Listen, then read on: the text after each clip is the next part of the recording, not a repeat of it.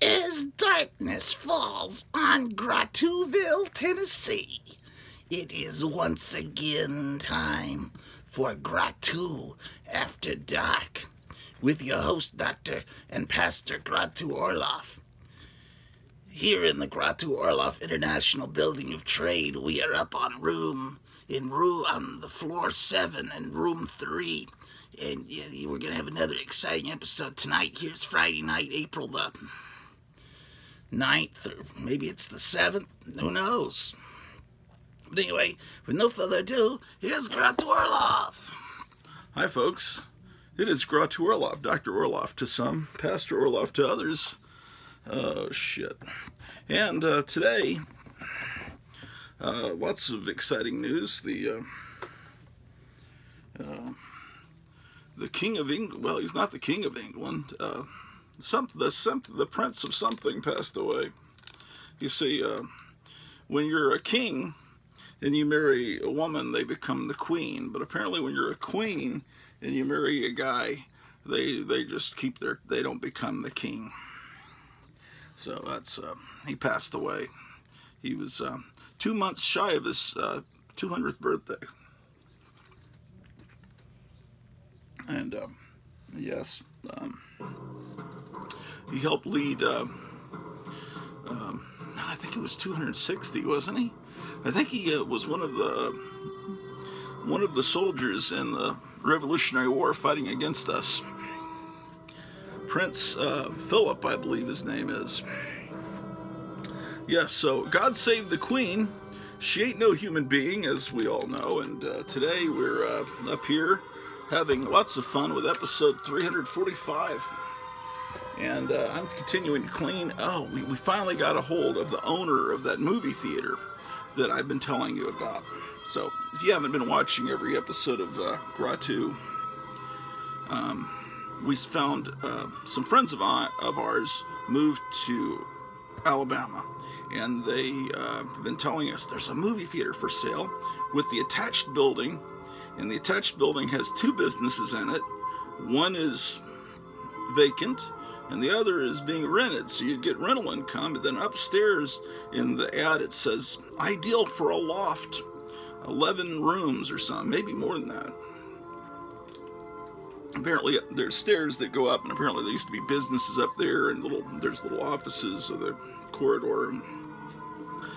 But anyway, so the theater was um, refurbished because the owner's daughter wanted to teach theater there. So they fixed it up. They installed restrooms. Originally, this it's a little tiny town, and it's on the town square, and the city, um, you know, court building, whatever, is always in the center of the square, right? It's right across the street. Well, apparently, when this theater first opened in the 30s or 40s, people just went across the street to the courthouse to use the restroom. They didn't have restrooms in this. Uh, this building. And uh, it's in Alabama so it has a separate box office and stairs going up to the balcony because back then it was segregated and, and uh, African Americans had to sit in the balcony and they had a separate staircase and even a separate ticket booth. Can you believe that? Anyway all that's intact. Uh, uh but anyway uh, couldn't hear back from the real estate agent and but my my friends went and took pictures of the outside the ones that moved there and were telling us about it well, through various machinations, I finally found, uh, uh, I contacted the owner and talked with him for a good hour last night. And uh, apparently, the theater has all pretty much brand new seats. Someone put in all these new seats in a theater somewhere, and then uh, then they wound up demolishing the building. So this guy bought all the, I guess, curtains and screen and, and uh, seats from this theater and it's I think this theater seats about 200 people and there's more seats that wouldn't fit in there that are in the basement so if any seat gets damaged there's more. Okay problem is we sell this house we could probably just swing buying that But, you know, the rental income from that art gallery that's occupying one of the spaces, it's a huge space and I could really use it. They're only paying $150 a month, but I can't toss them out because then you'd be the bad guy or the evil new person. But uh, anyway. Uh, oh, but the real problem is that area that's ideal for a loft apartment has doesn't have a kitchen, doesn't have bathrooms, needs heating, air. It needs to be completely reworked. I mean, I'd keep some of those offices as rooms, but I guess you'd have to create a kitchen, and there's a place where a bathroom used to be, and I don't know what that would cost. So that would all be added to the cost, or unless we could talk him down, he's already cut the cost 50,000, but he's been trying to sell this since 2017. And this is a bad time to be selling a theater, but here's uh, the deal. Um, I could uh, run movies. I could have bands play. Um, they've had in the past, uh, the surviving members of Hank Williams' band have, have performed there, and they've had, uh, oh, and there's a dressing room where everyone that's ever played there on the stage signs their name on the wall. And, and, then I said, was there anything left from the old theater, like maybe the original marquee? And he says, no, there's a box of movie posters. I think are from the 1960s. There are no movies I've ever heard of. And I'm thinking, they're probably great. But, um,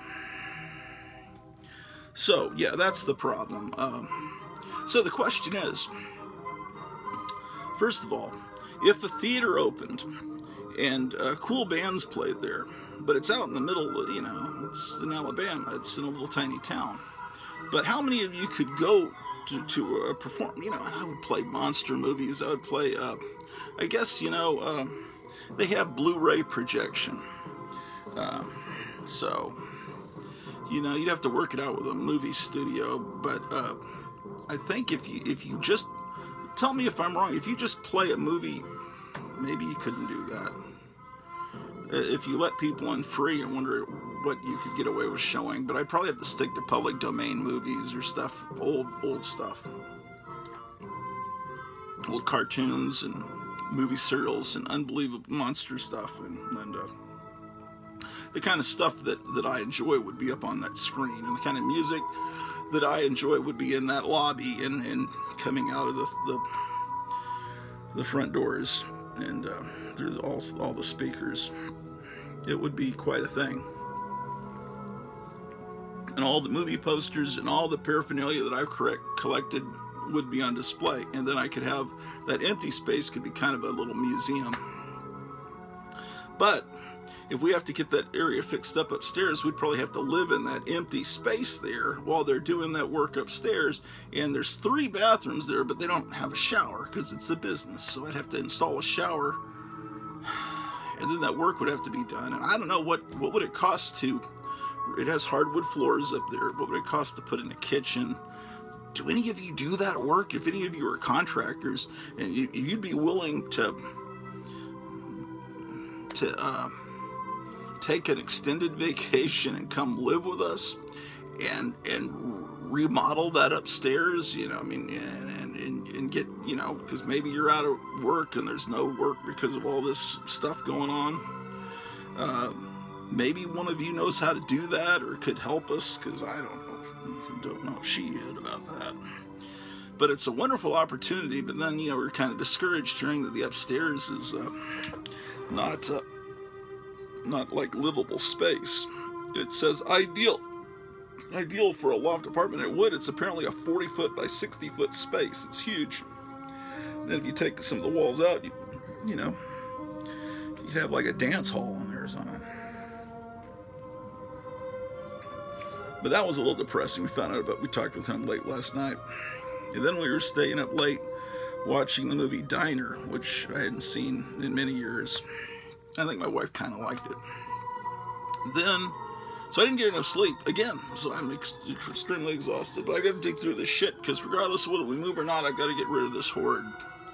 Um, but you know, you probably feel a little gypped if I don't show you some comic book related stuff first. So let's do that first. I just pull a random box out of the closet. It says Marvel, black and white, and this is not by any means the uh, full extent of my Marvel black and white stuff.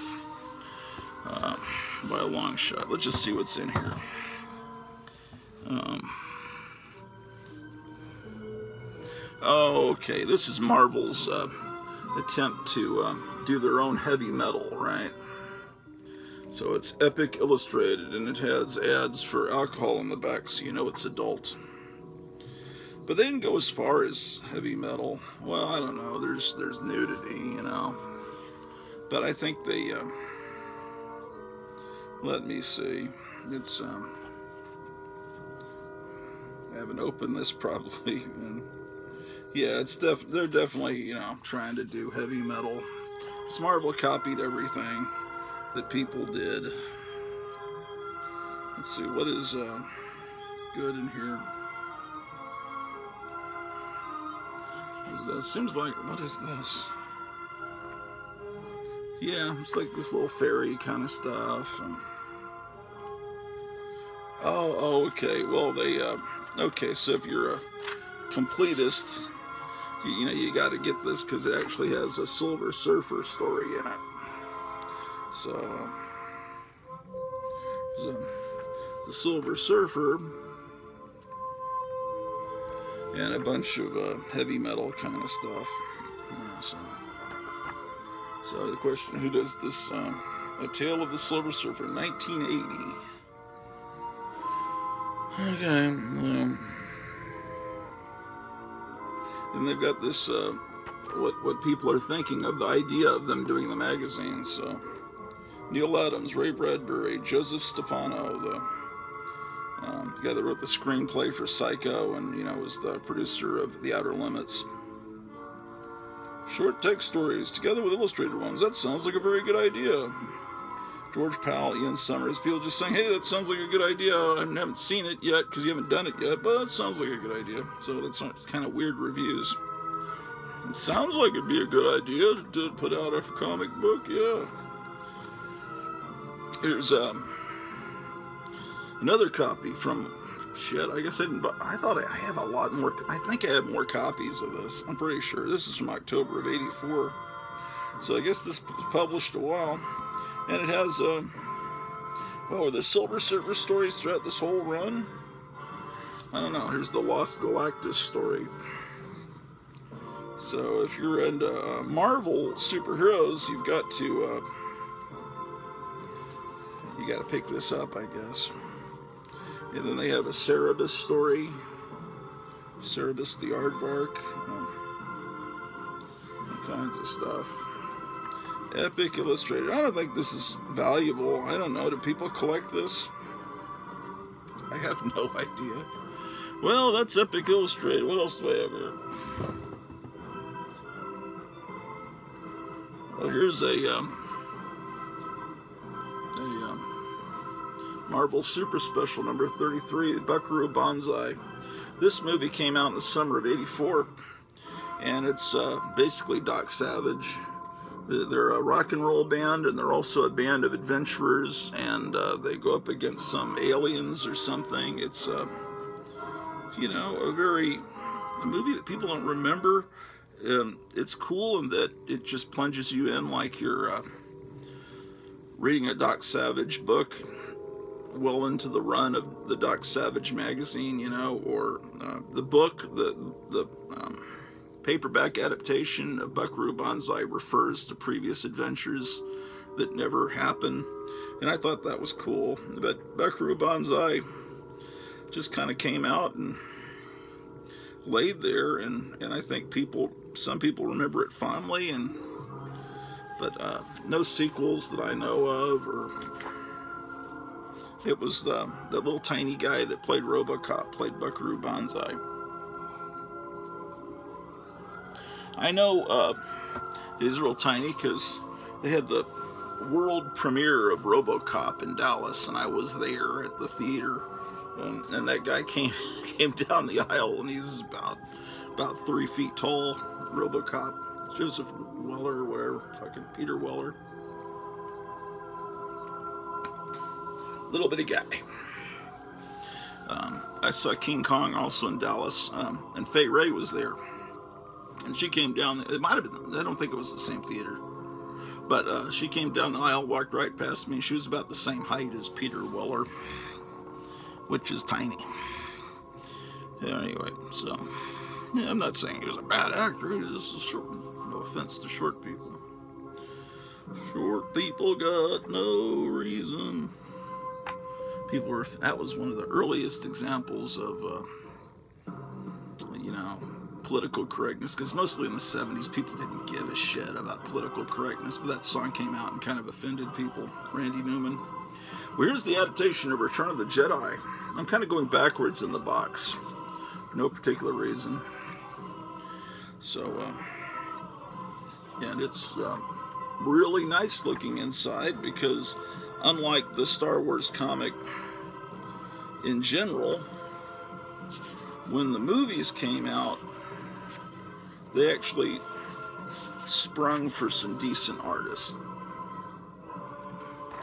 So, we have Let's see if he did the inks too.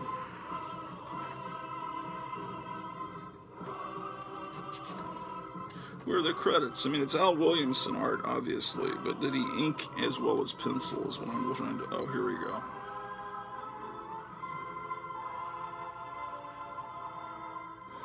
We would like to acknowledge the contributions of the following artists without whom this book would not have been produced. Dan Green, Dave Stevens, William Stout, Tom Yeates, and Rick Bryant. Okay, so William Stout and Dave Stevens. Um, okay. Uh, they, they must have inked over Al Williamson's art.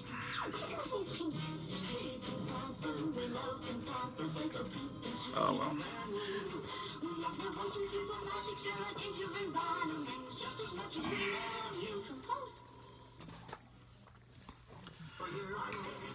Let's see what we got here.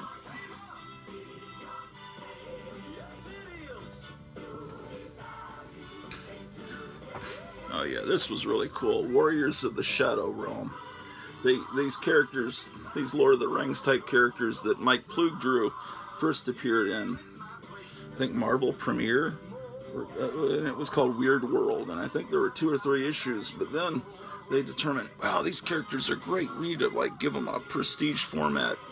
Um, and this is, uh, see, this is, uh, what is going on with this page? Why is this page print? Oh, there's a, there's a fold out. Not a, uh,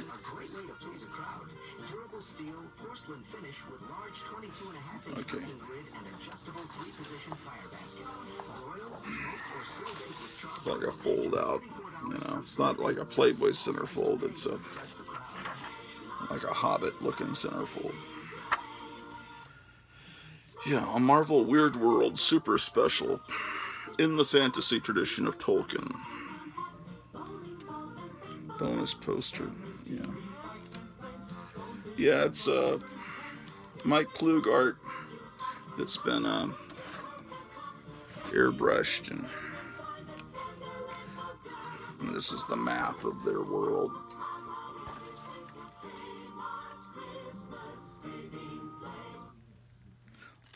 Spring, June 1979. But Oh, I'm completely wrong. It's not Mike Ploog. It's John Buscema's art. I could have sworn, didn't Ploog do the comic, uh, Marvel Premiere? I don't know. Conceived and written by Doug Moench.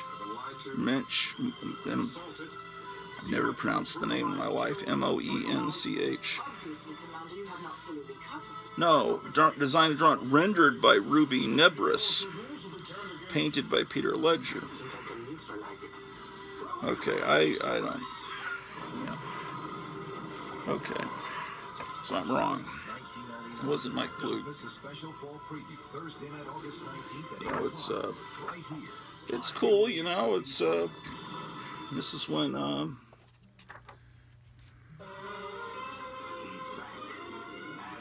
you know, people thought that the, um, John Bakshi, Lord of the Rings, was going to be big. It wasn't. And so, uh, attempt is to get, uh, to do a, um, to do a Marvel Lord of the Rings, basically. Because, you know, Marvel, I think Captain Strange Life calls it the House of No New Ideas.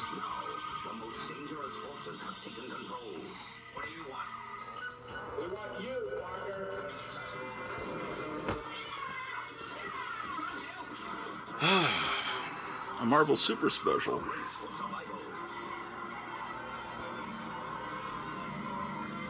This is where they did uh, Conan in color. And, uh.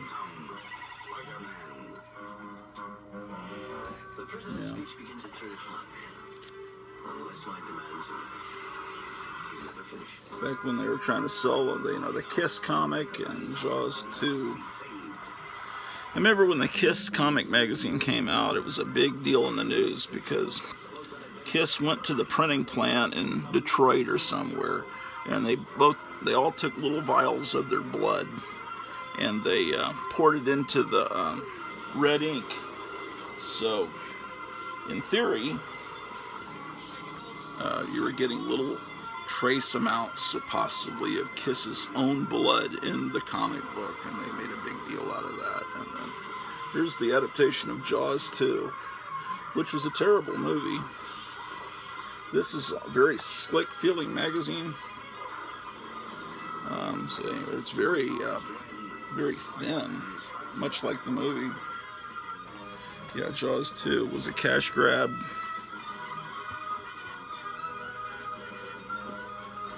We're working our way backwards in time here. Oh, here's when they ad adapted Close Encounters of the Third Kind. Which is a really good movie.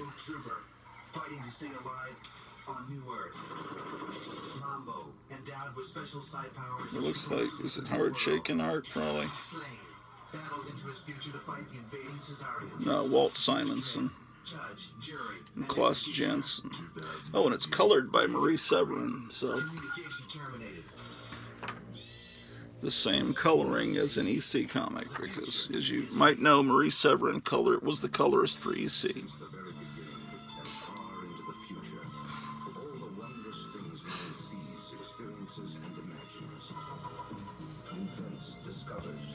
And here's uh, another we're going back further in time. Marvel Comics Super Special Savage Sword of Conan. But it's a color uh, issue, you know. Color. Uh, oh, it's got a wraparound cover. Look at that. Pretty cool. Here in the sea, billions of years ago, like the Anon Odyssey, kept a reach across space and time. So I don't know. What do you think? Would it probably cost about fifty, sixty thousand? To do that, uh, turn that into a living space, to build a kitchen and a bath, bathroom with a shower, you know, tub. Um, if you have, uh, I've looked up videos on YouTube where people are converting, you know, old buildings into living spaces. And,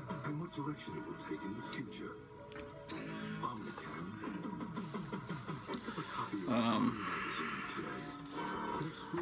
I mean, I guess we bought the house out, the theater and the building attached outright. Then maybe we could get a home equity loan or a loan to redo the upstairs. This is Masters of Terror. Robert E. Howard, Robert Bloch, H.P. Lovecraft, August Derleth. So this is an adaptation of a Robert Bloch story. So they're uh, frontiers that challenge man's mind and imagination. Adapting these stories, which uh, I think these were. I think this adaptation of It by Theodore Sturgeon. I think weren't these all reprinted from Supernatural Thrillers? I think so. Terrible Old Man by H.P. Lovecraft. art by Barry Smith. Maybe not. Maybe. I'm probably wrong. I'm probably wrong. I don't think these are reprints. Fascinatingly hideous cover of Freddy Krueger. And devilishly candid reviews of the latest horror videos. Oh, okay. This is cool. I opened this box. Um, I think. Hold on. Ah, man, it doesn't. I don't have that in here. Fangoria. Only $12.49 for a special I was hoping the black and white Hulk comics would be in this particular box, but they aren't. 475 Park Avenue South, New York, 100. Here's the Marvel adaptation of uh, The Land That Time Forgot. I always love that cover. And that's the actual movie poster art.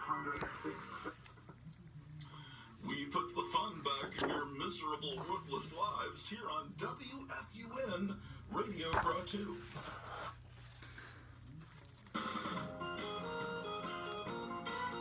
Um, you know, the movie didn't look this good.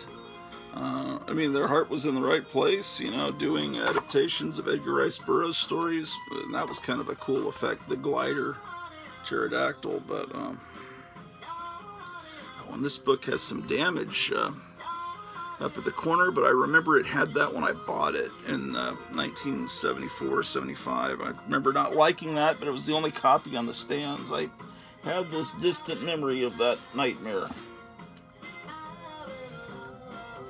Sometimes you have to make that concession.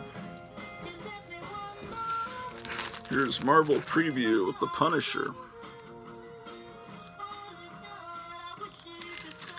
Marvel Preview number two.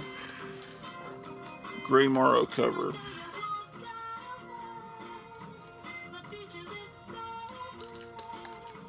Oh, then this one, I remember this being really good.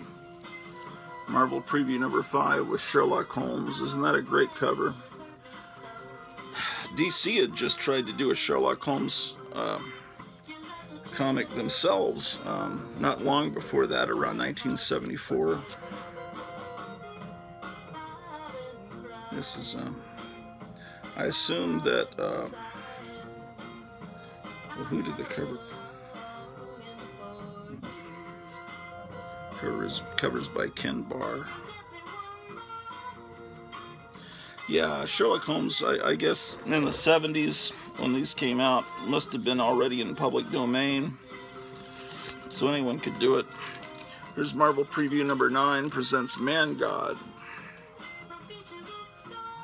which is a adaptation of the novel Gladiator by Philip Wylie, which is uh, apparently one of the inspirations for Superman, along with John Carter. Because you know John Carter could could leap great distances. Originally, Superman didn't fly. In the first few issues of Superman, he just uh, you know leaped tall buildings in a single bound. This I remember being really. I, I knew I had to get this magazine. I, I remember the summer of uh, was it was it '78 probably yeah, the summer of 78, this was on the stands at the bookstore, and I had to get it. I didn't know why. I didn't even really know this character. Um, but maybe it's there was something that told me buy that, and I don't know. Does it have value now because um, of Guardians of the Galaxy? I don't know. I, uh, Something told me I needed to get that. Here's uh, number 15 with Star Lord.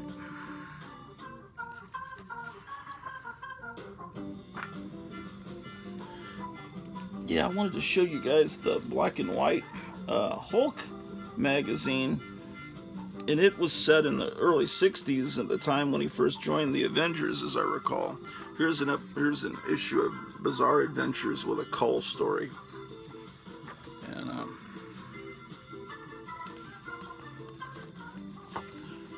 who did this artwork? This is cool looking. Really cool looking.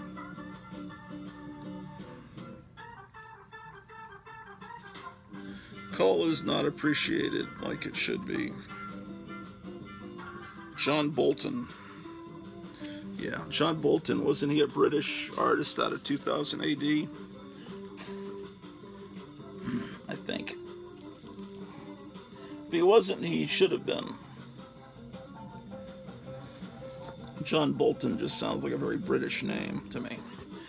Well, that Hulk magazine was called The Rampaging Hulk, right? I think, pretty sure. And it was black and white. But this is when they switched over to color because the TV show was on the air and they thought, well, let's just, they started doing color magazines. And so I don't know, Man, Bear, Pig, I know you've got like an almost complete collection of, uh, or maybe complete now, of the Incredible Hulk, but um, I don't know if you were saying you hadn't gotten these magazines yet, but I think that's probably the next step if you haven't already. Yeah, so it's uh, definitely. Yeah, this is a cool, uh, cool magazine. This that's issue number 10. One through nine were black and white, and I've got most of them, and they're not in this box. Don't ask me why. There's a cool Bob Larkin cover. Oh, it's a wraparound. Cool. Yeah, it's just, you know, a Hulk comic inside. Just a way to make a few more extra dollars off of the Hulk, who was really hot at the time. And but and by issue uh, 13, they weren't doing the wraparound cover anymore. Boy, isn't that a great painting? It looks. It's Nor Earl Norem. You know why that's great? Because he's the guy that did all those men's magazines, a lot of those men's magazine, uh, men's adventure, rugged man kind of, you know, I killed a bear with a toothpick kind of covers. And, and so he also worked for Marvel, and so it looks just like one of those true men male SWAT magazine. And uh, so yeah, the uh, the Hulk, a Marvel Super Color magazine. Yeah, they were they were really into the color stuff there for a little bit.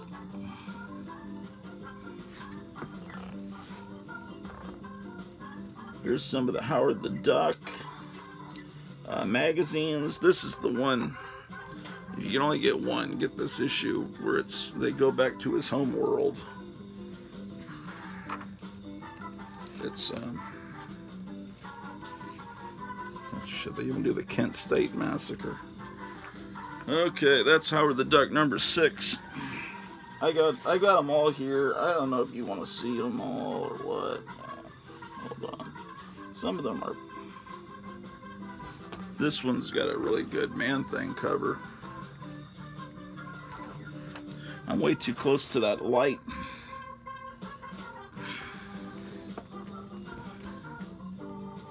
Here's a Batman type cover. And what else do I have in here? I got some Savage Sword of Conan's.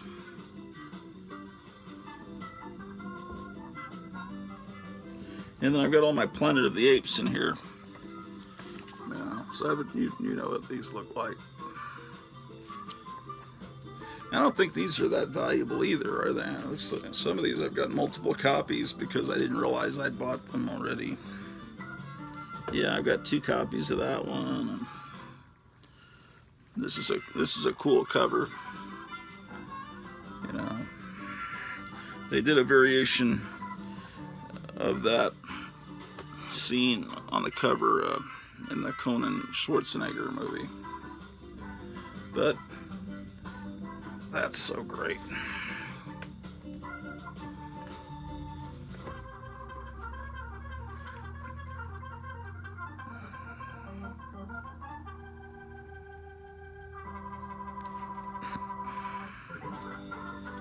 Boris Vallejo.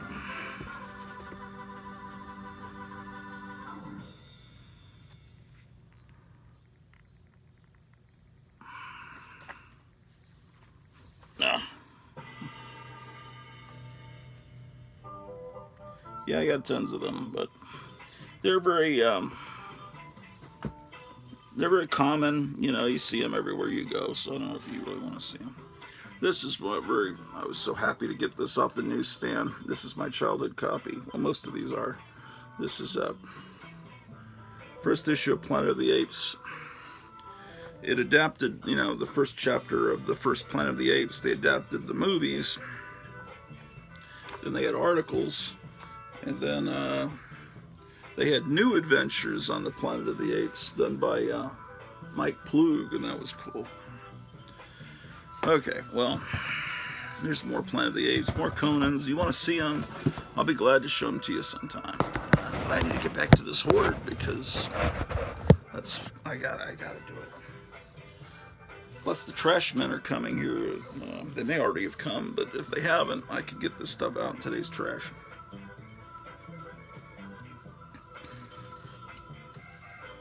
Even though I call this Grottu After Dark, I'm actually filming it. It's probably about 10 o'clock in the morning on Friday, April 7th, 1964. Okay, more stuff from work, which goes right in the right in the trash. Trash.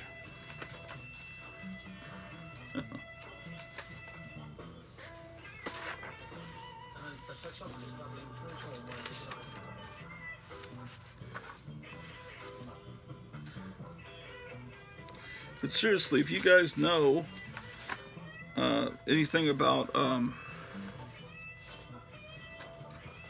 um,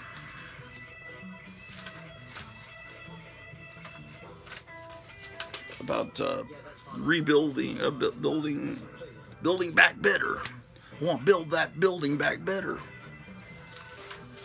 I think there are tax credits in that area of Alabama for fixing things up. And it's a historic building, you know, it's on the town square.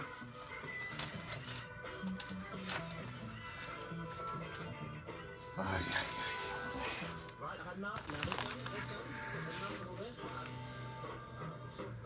Oh, these are statistics for my uh, grandfather. Um, I'm looking for a saxophonist, you see, doubling. who, um, you know, from the baseball encyclopedia, Philip Lefty Weinert. If you're into baseball, you can look him up.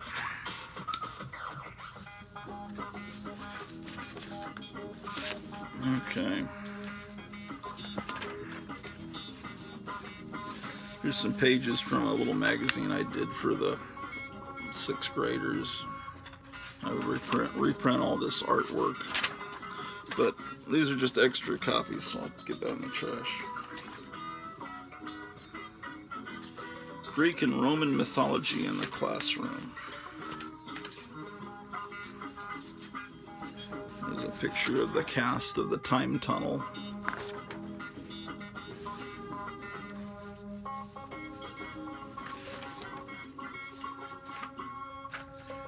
I must have just copied this out of some magazine because it's a jungle girl, but I don't need that.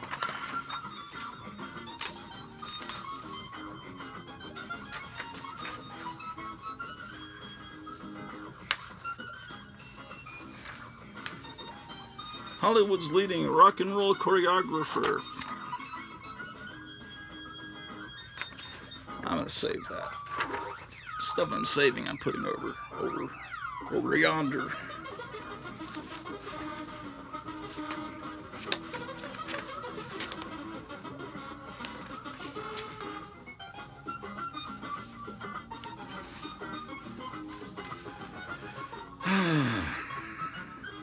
This is from zenite.org, which was a website about Edgar Rice Burroughs. And I printed this December 17th, 1999. I'm sure that web page is no longer around, so I'll save that. It's so hard to throw anything away when you're an insane hoarder.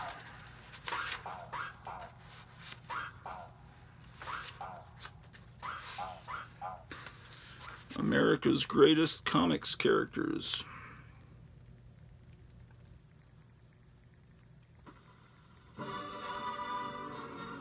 I probably copied this out of Alter Ego Mag. I'll save it.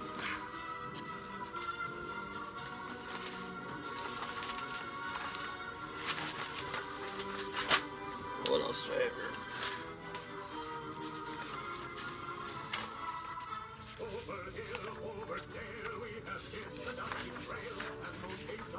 Oh, this is drawn by one of my students. The, I showed you her artwork in a previous episode. She's she was really good. I mean, this was done freehand. This was not copied from anything. And to me, that's as good as a lot of this these anime style, manga style characters that I see done by professionals. And she was, you know, in seventh grade. So hopefully, she can uh, do something with that as a living. That's cool bulldog head from the 40s.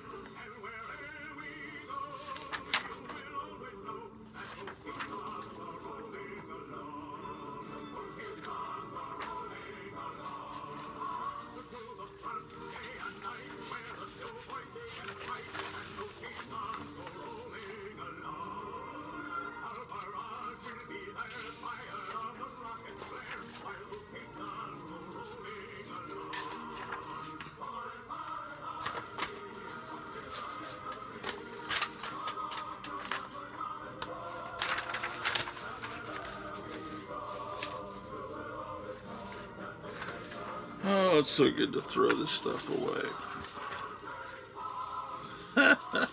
look at this. Look at this football illustration. That's hilarious.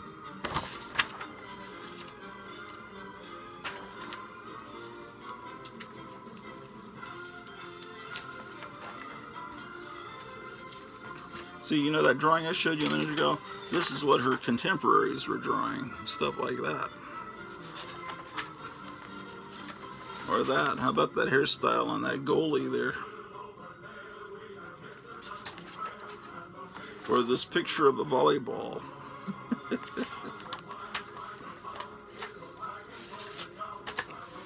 yes, it's Friday once again, so I'm going to have to blow up the air mattress for my pal that comes on Friday nights.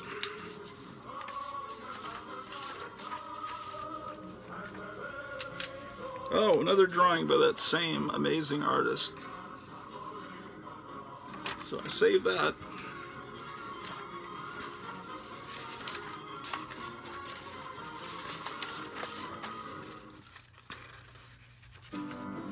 Oh, they have a standardized, all, every state has a standardized test.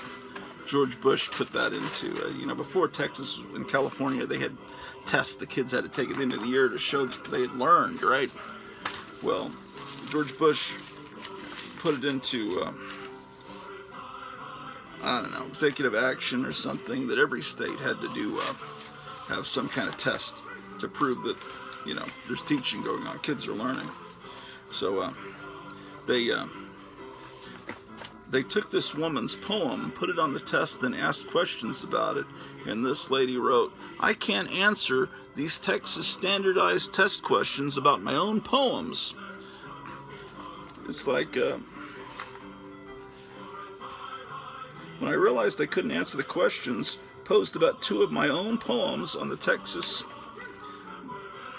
where's the second page? Missing some lines. I checked to see if anyone was looking. The questions began to swim on the page. Waves of insecurity. My brain in full spin. Yeah, it says, let me begin by confessing that a real case is my most neurotic poem. I have a pile of them to be sure, but this one is the sour cherry on top. It says, test makers, test makers are for-profit organizations. My poems are a whole lot cheaper than Mary Oliver's or Jane Kenyon's, so there's that. Anyway, they chose her poem. And he says, I apologize to those kids. I apologize to the teachers. Boy, howdy, I apologize to the entire state of Texas. And into the 90... Anyway. Anyway. What was the question? Dividing the poem, this is the question, and she couldn't answer it. Like they're saying, this is why the poet did this, but it's not. Dividing the poem into two stanzas allows the poet to, and question A is when I printed it, didn't she? Ask questions to keep the reader guessing about what will happen. Contrast the speaker's feelings about weekends and Mondays. Incorporate reminders for the reader about where the action takes place.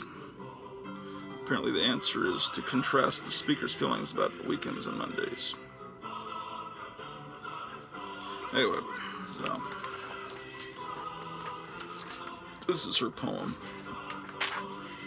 That's all that really matters nowadays is these tests. Oh, look at all these lesson plans. Lesson plans written about how I'm going to. all going in the trash. Boy, I'd like to run a movie theater. It would be such a great thing. It's such a great little town. Uh, if I could just fix that upstairs area. My wife has always dreamed to live in a Victorian house, but maybe we could buy one later if, if we make a go of this. And with those two, that empty space, we could put, if that art gallery wasn't there, we could have an, maybe just in that one empty space, we could have an amazing uh, comic book convention there. Uh, for one thing, uh, there's a lot, there's some other spaces that are uh, not filled on that town square. Maybe some of them could be rented for a weekend, and then uh, the, the comic convention could be all around the town square.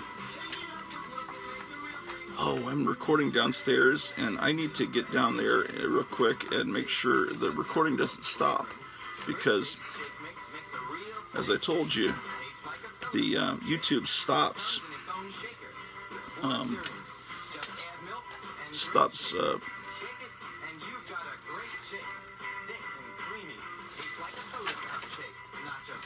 YouTube stops uh, and says, "Are you still watching this?" Because they want to make sure their advertisers are actually seeing, you know, people watching are actually seeing the advertisers. If, if people are just letting it go and spring, then uh,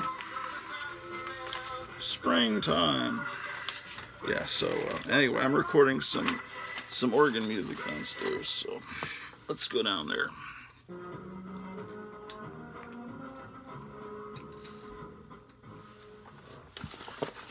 I'll take this new trash down.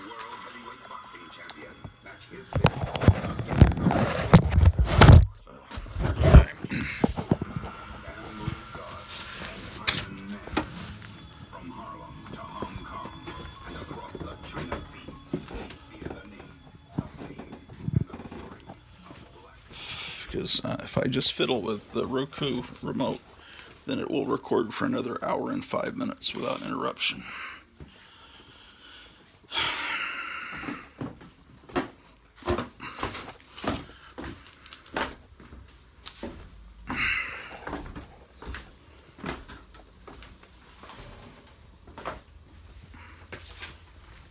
Oh, it's already paused. Shit. Oh, damn it. I wonder how long it was paused because I uh I've only been working 48 minutes on this episode and I and I fiddled with it right before I went upstairs to let me see. Annoying. Um, so, um, I'll show you what I mean here. So I stopped the recording. My hair looks terrible. Um, yeah, I just jump out of the shower and start these episodes uh, lately. See, it says um, video paused. See that? Continue watching. And, uh, hold on. So, and you have to press yes. But first, let me see how much I, uh, play back what I've recorded so far on the DVD-R and see how much, uh, how long it was playing, uh, recording nothing.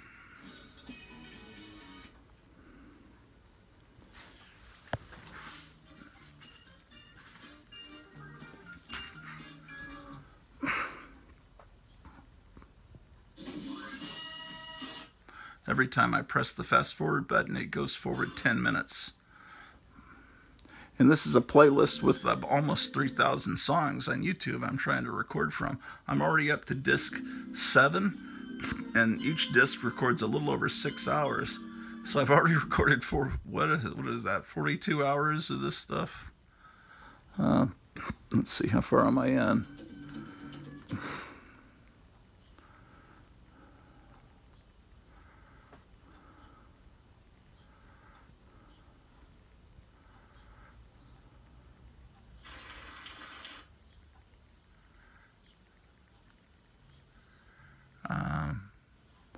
Okay, well, so let me rewind a little bit, see how many minutes of this silence I have. Um, okay, well, it looks like at the three hour 17 minute mark, up roughly to about the three hour 22 minute mark. So I have about five minutes of silence.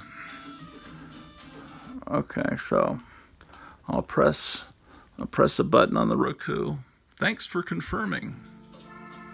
Okay, so let me rewind this to the beginning of the video.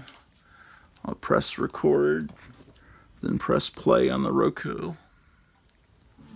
And now I'm recording Buddy Cole's The Moon Was Yellow. Let me try to get some of this trash out before the trash men come. Unfortunately, not the trash men that recorded Surfing Bird, but the real trash men. Hold on. Uh, hold on, let me put you in my pocket for a second.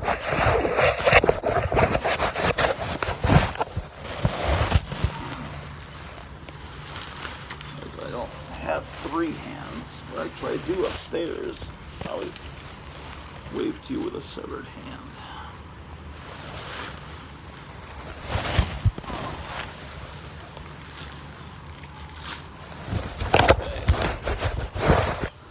Now you know what it's like to be a baby kangaroo. I'll put you in my pocket. Okay, so I have a new bag of trash. Not amazing. So let's go put it out here where the amazing and talented trash men can pick it up. I always have more trash than anyone in the neighborhood.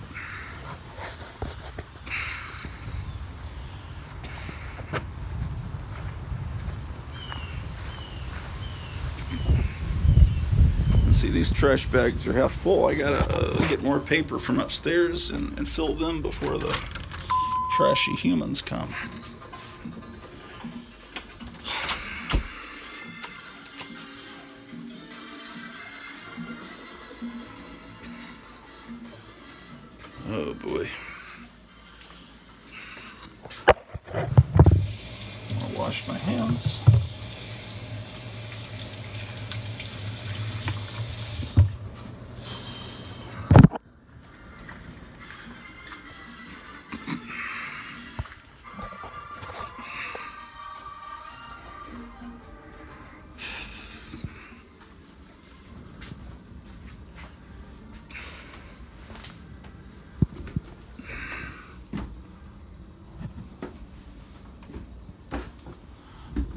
Another thing I could do in that theater is do spook shows, man. I could recreate spook shows. I just have to find someone that's a magician, get some monster masks. Wouldn't that be great? Would you guys like to help with something like that? Maybe we can all fucking retire and move move to this little town and uh, turn it into a paradise.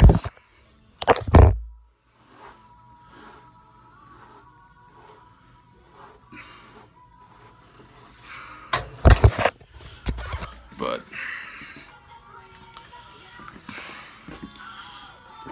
we'll, uh, we'll have to see. Well, thank you for accompanying me on that um, trash run. Let's let's gather more trash, shall we?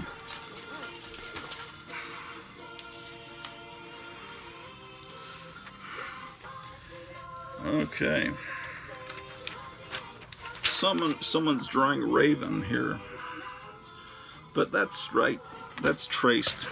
See, it's no good. See, this drawing of Batgirl is just traced, so that has no charm to me.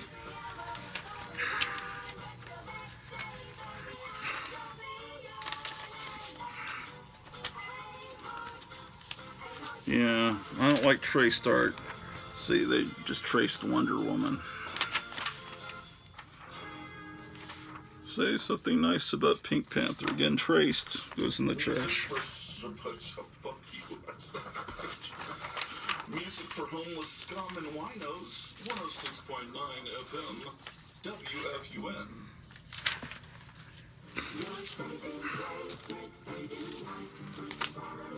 I guess those are drawings of Paddington Bear. Is that who that is? From GE, this FM AM digital clock radio with LED readout and music alarm for CRS Garbage. 2987.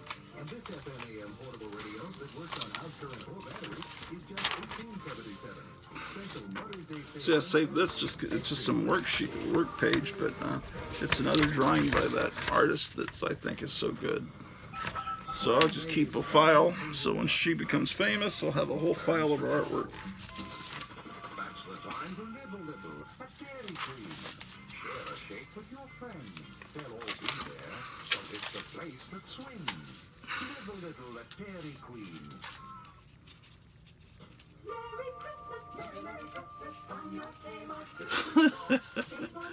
My name is Spring.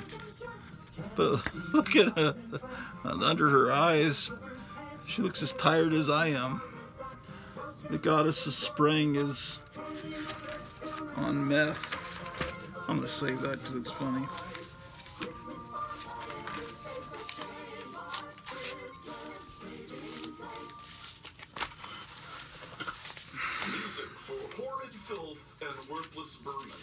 WFUN.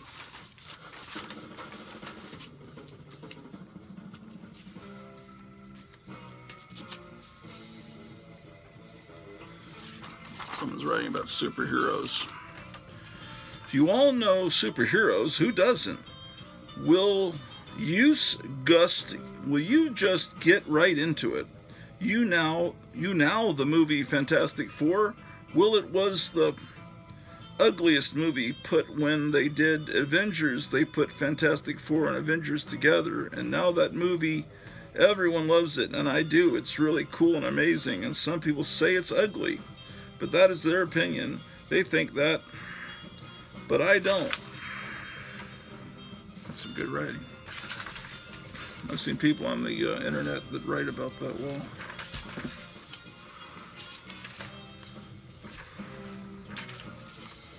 Stan Lee. He made awesome superheroes. He made Iron Man, Iron Men, Superman, and other. Thank you, Stan Lee, for make us superheroes. They're so fun and make us entertain. And you too, Jack, because you draw them like cartoon, and I love superheroes and my teachers too. I'll save that. Someone writing about Stan Lee. It's kind of charming. Stan Lee probably would take credit for Superman if he could. I mean, I guess he did create a like a, an amalgamation, like Marvelized version of Superman, didn't he? And some stupid thing.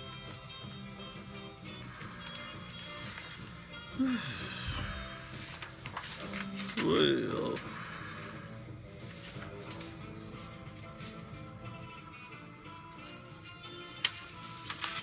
oh, we're getting lots of trash today.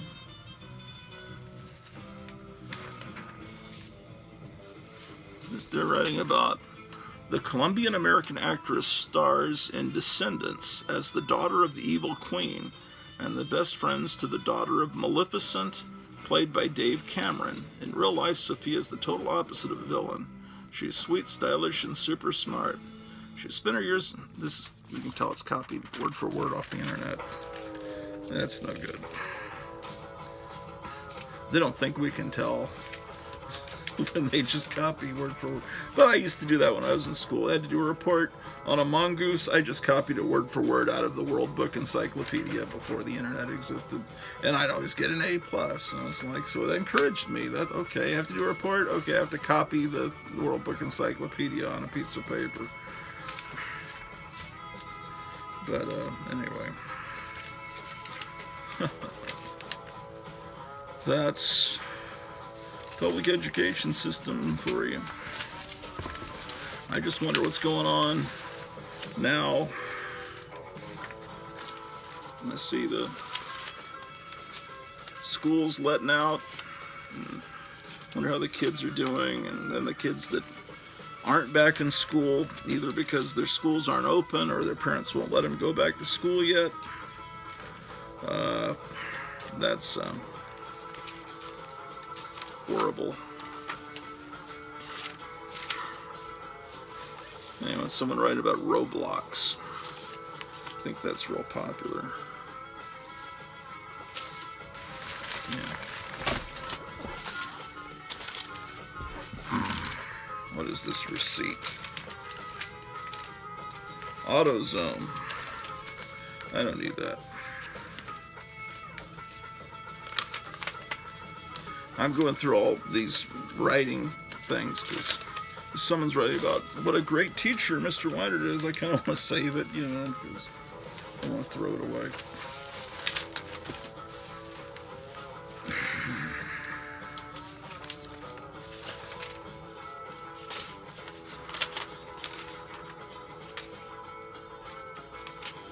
This is from January 12th, 2017. So Justice League, is it a good movie or bad? My opinion, good, but compares but compare it with the comic books. Like Flash, he acts different in the show. He has less squeaky voice and is more familiar with stuff, like saving people. yeah. Yeah, the the way that that that weird Crispin Glover style actor plays the Flash, whatever his name is, um, in the Justice League movie, um, is nothing like uh, Barry Allen in the comics. He's like got a blonde crew cut, at least the variation I remember from the 60s. Metaphor guy. I love that. Makes you sound super smart. I am smart. I know. Okay. Okay. All right, what do we got here?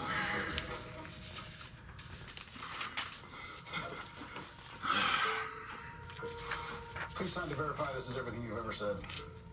Oh, this is the Loki trailer.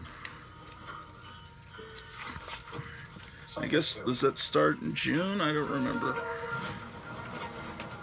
This is kind of good. Someone started a face. Spooky looking eyes.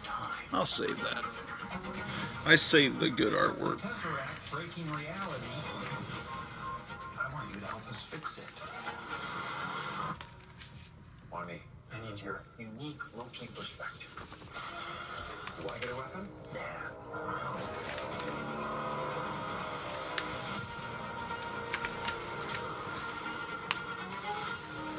You really believe in this Loki variant? Luckily, he believes in himself enough for the both of us.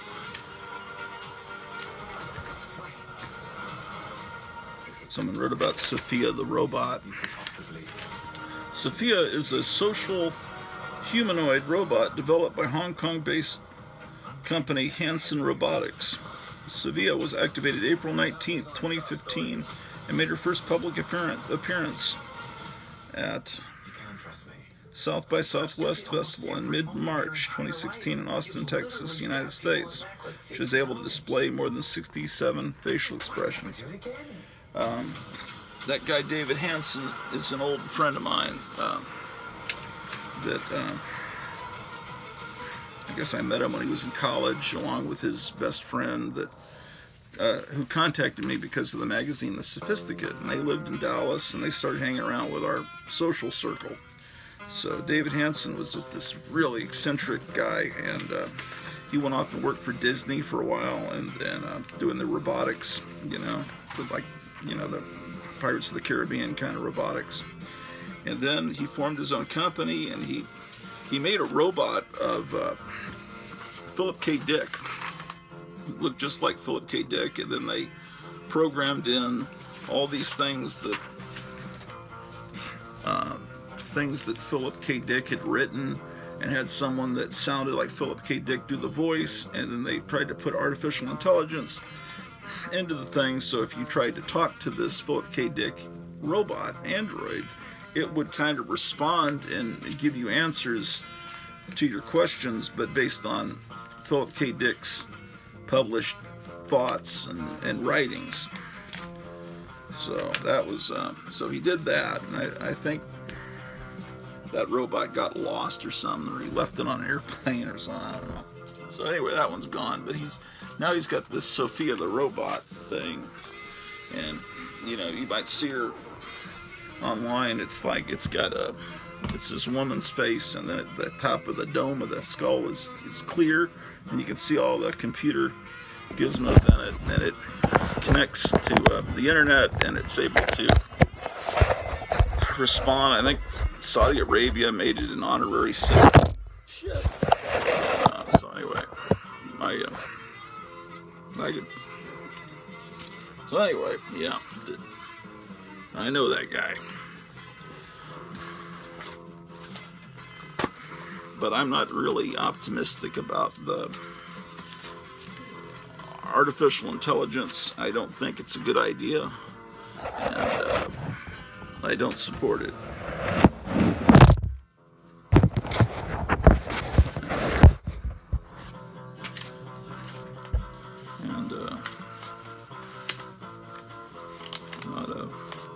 Big fan. And so that, that little girl robot's real cute and funny and interesting, but ultimately, artificial intelligence is not going to be a good thing for mankind.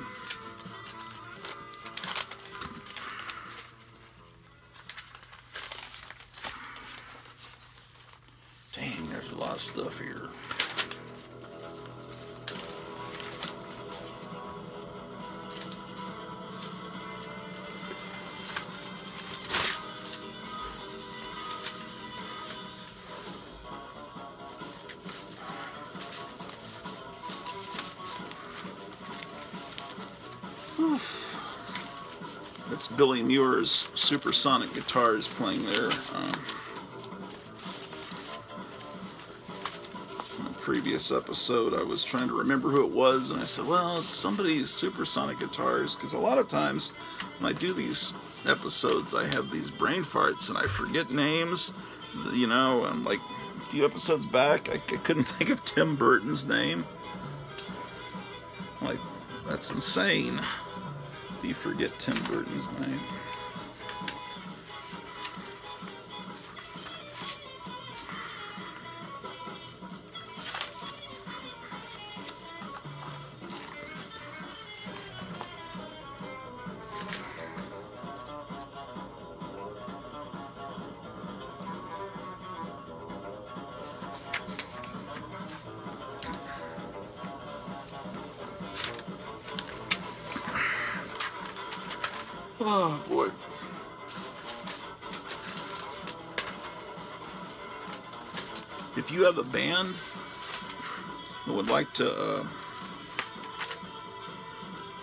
Perform at that theater, can you let me know?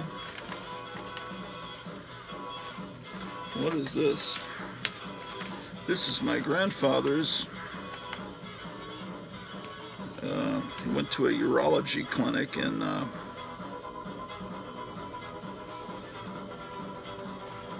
on November 15th, 1974.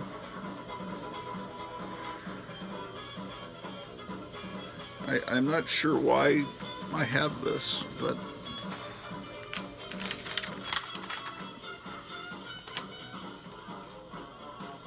okay, now this is a interesting artwork here, so I'm gonna save this for sure.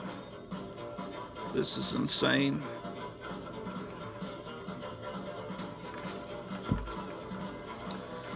Gifted students can produce some amazing stuff.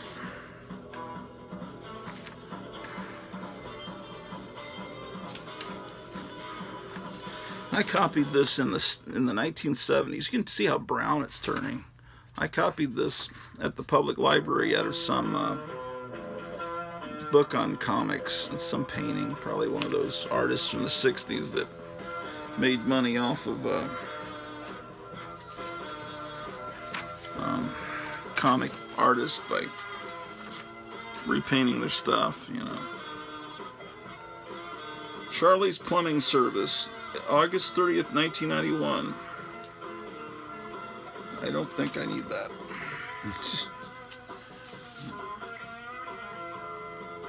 Here's this girl writing a review of Tarzan of the Apes, written in 1914. Tarzan of the Apes is well written. I think that it's interesting, brilliant, and also exciting. This is written May 10th, 20, uh, 2000. The novel, compared to others, is different, but sounds kind of the same in the ways the words are spoken. Okay, so I made them. They read read. We read Tarzan. Yeah, yeah, yeah. As we'd read A Princess of Mars, and so well, let's read Tarzan. And that was written by a sixth grader. So uh, you know, the, I mean, look at this. This is pretty good for a sixth grader. Here's a Village of Horror Classics. I guess it's a, a, mixture of Nightmare, Nightmare on Elm Street and Friday the 13th. One of those little, uh, those little collector's sets that you pay $39.95 for about eight months, and then you have paid it off. You know. I don't know. why. I guess I saved that card. I must thought it was cool. This is a magazine I was putting together probably about uh, uh, in the probably about late 90s and never finished it. Yeah, there was an ad that I copied out of uh, local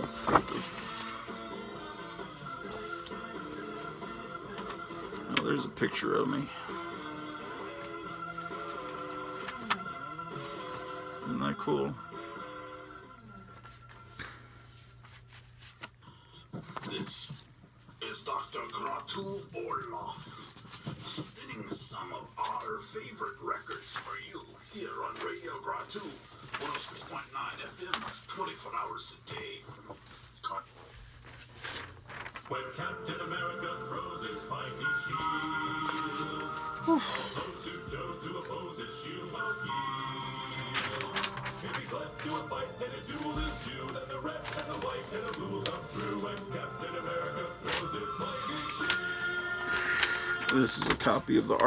Joe Riley did for um, the Sophisticate.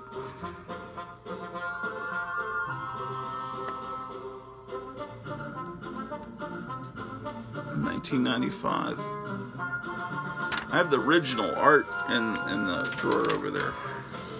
It's a copy.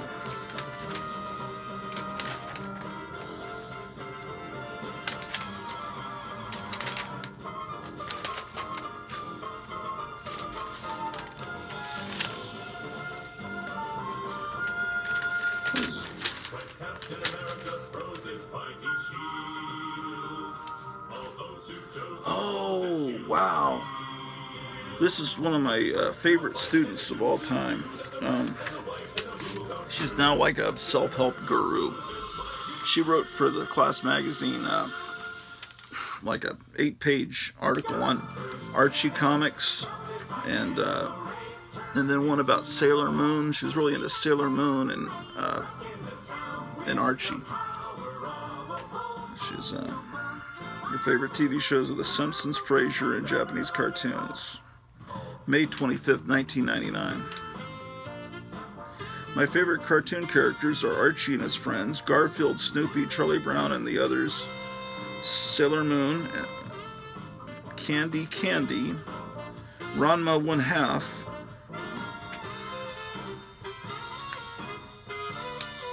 My favorite bands are the Beatles and Spanish bands. I like pop music. Birds. She likes the Beatles, Beach Boys, Sleepless in Seattle, Mulan. Um, This was like an interest survey they did. Oh, I'm gonna put that in the stuff to save.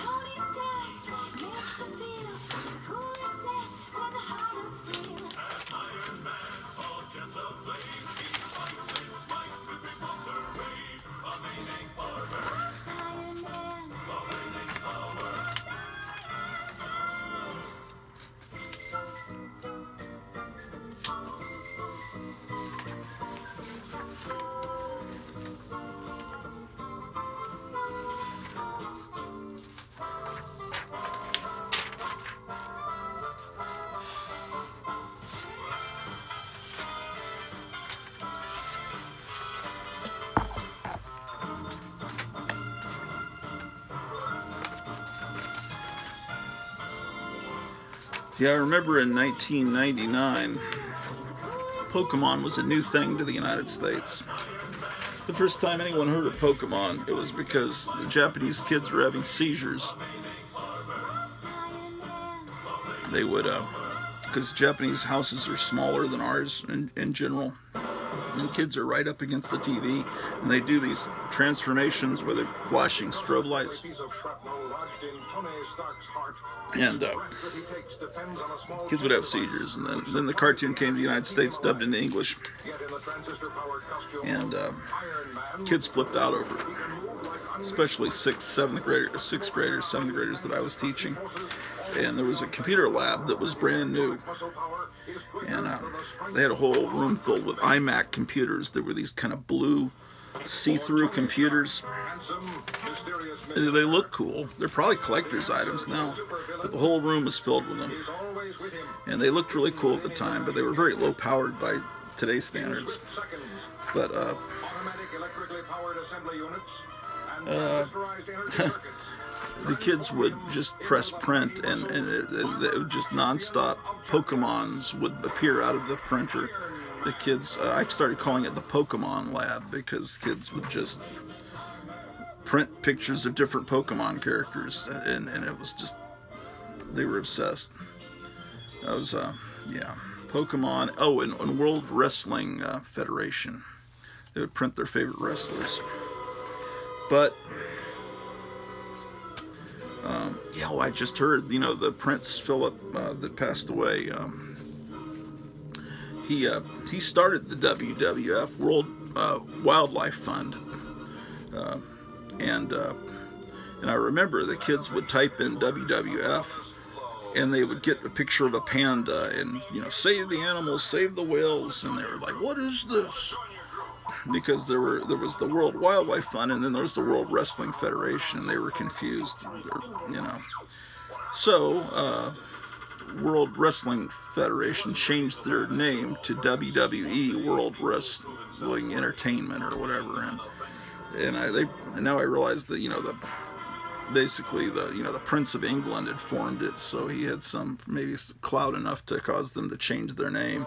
This is that that artist that I'm real uh, yeah, let me show you what I mean. This artwork is just good. In my in my humble opinion, this is neat.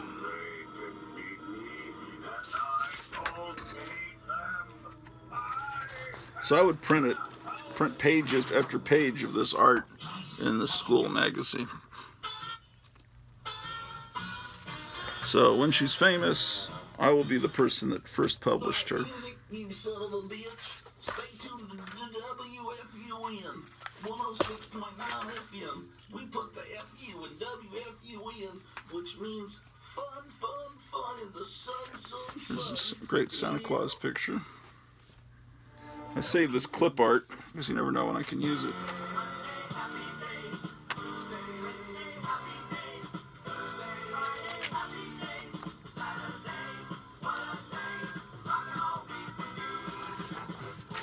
Her here's that artwork,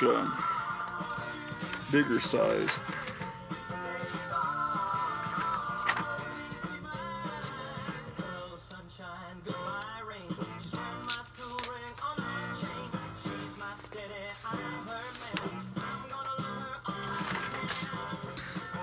all Oh, this is the original artwork here. Yeah, this is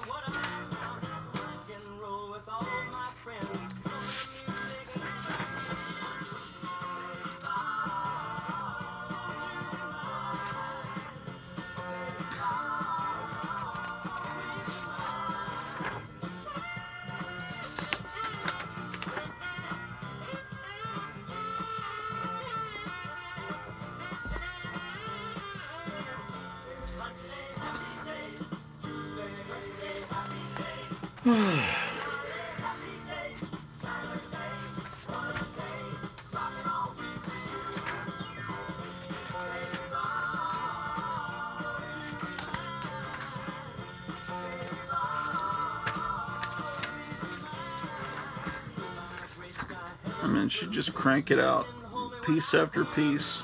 Really good stuff. I don't know. Those of you that are into anime, if anyone that's into anime watches this channel, I mean, I kind of doubt it. But if you are, uh, is that pretty good, or am I insane?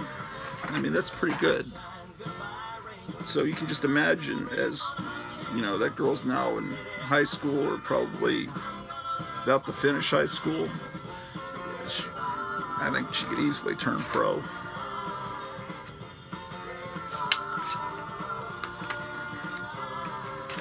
I always told him, you know, now that you, when you go into high school and you fill out applications for whatever, you can say, I'm a published writer, I'm a published artist, because you got your stuff published in our class magazine. And you're not lying.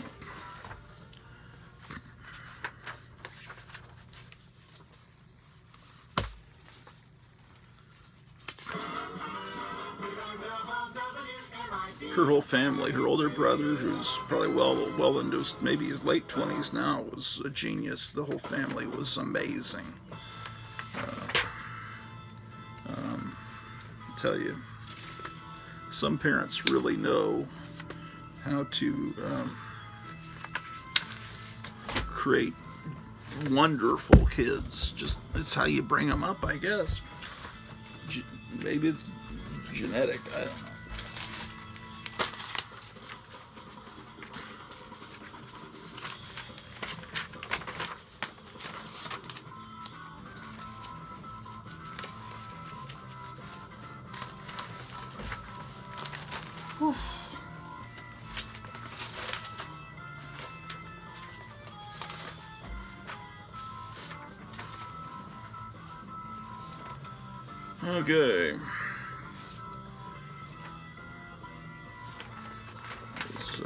An AutoZone printout. Why my my engine light is on?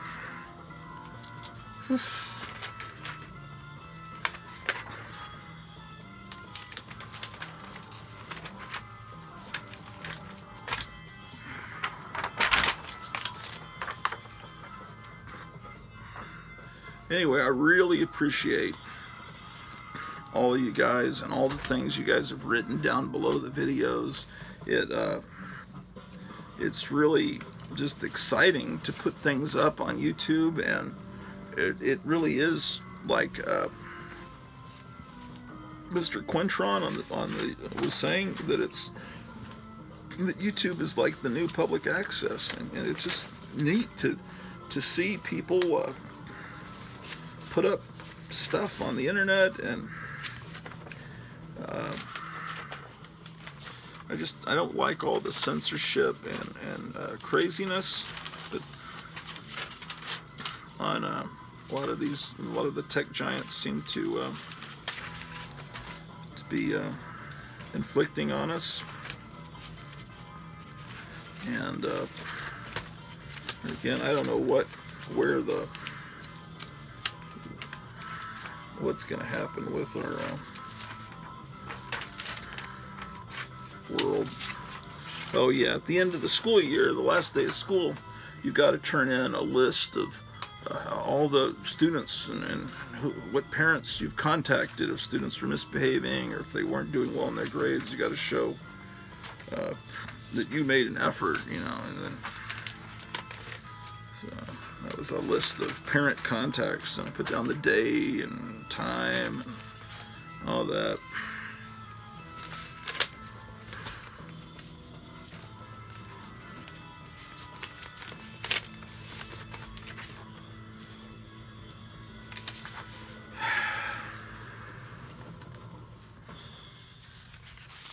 This is from uh, uh, uh, for our wedding. I, I built a uh, a big giant moon. You know that like in the old pictures from 100 years ago, you'd or or before, you'd go to a carnival or a state fair and there'd be a big cutout of a moon. We call it paper moon, right? And you you could pose sitting on the moon with your friends or your girlfriend or wife, whatever. And so I created a, a life-size one, and then uh, had her pictures taken on it. This is my wife and I on this moon. But my wife's wedding dress had been botched by uh, a friend of ours at the time, and she had tried to. She had her mother-in-law alter it, and it was messed up. My wife was very. She doesn't like that picture, so.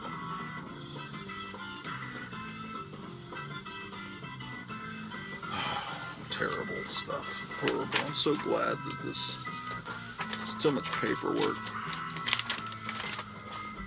It just accumulates and I just toss it into a box and then it's time that I must purge it.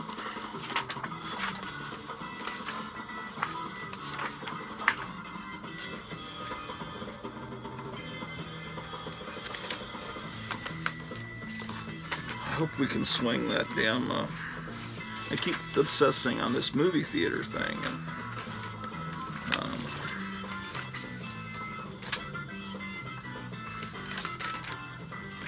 but man, if you're not happy where you're living, if it's like some grind, and I don't know what the job situation is in this little town in uh, Alabama, but but if you want to uh, move there and uh, help us refurbish the place, and then just hang out in the movie theater all the time, watch movies, and you know, um, just anything you want to watch, you, you, know, just throw it up there in the projection booth, get down there and watch it. Just, uh, just it would be cool.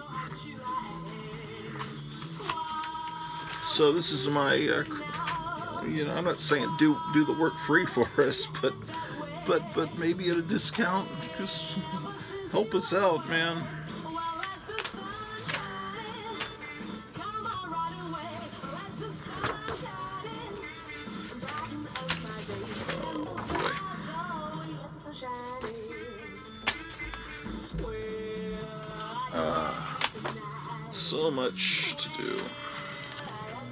You know, when they, uh, the local school district rents out the building, apparently, uh, and they bring a Blu-ray or whatever, and then for about every about four times a year, the guy said, and uh, and that they bring in students as a reward for behavior or good grades or doing well on a test.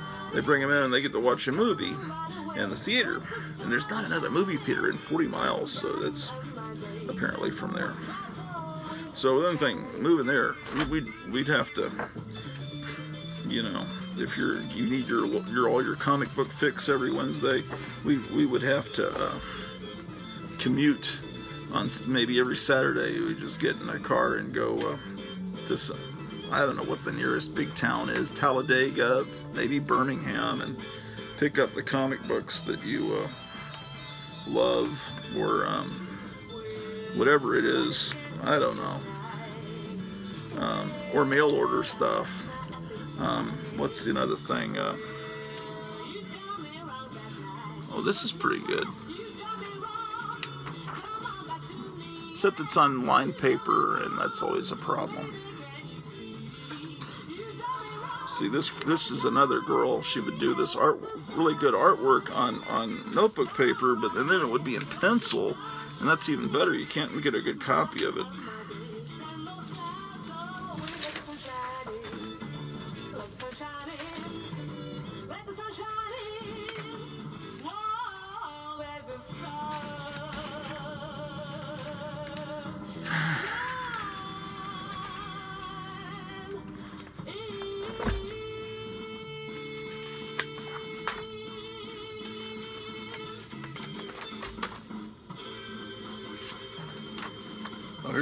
Good uh, artist again.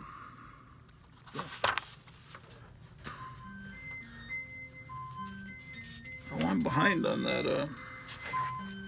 Oh, this is when they first announced that Superman was going to be on television, and I printed these pictures because I, I thought, well, this guy kind of looks more like Superman. And uh, this is for the Supergirl show. Now he has his own series, but I'm I'm behind several weeks on that. Uh,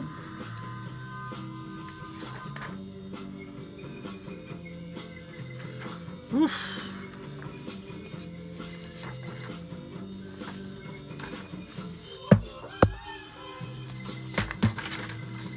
So, um,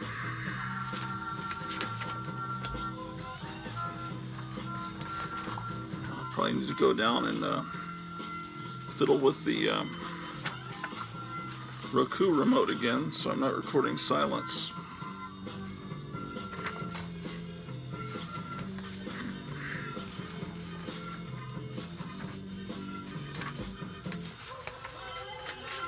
Think it's, it's real cheap to live there. Uh,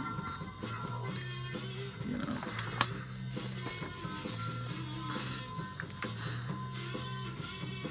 And maybe you're far enough. I don't know. I'll just, uh, I won't complete that thought.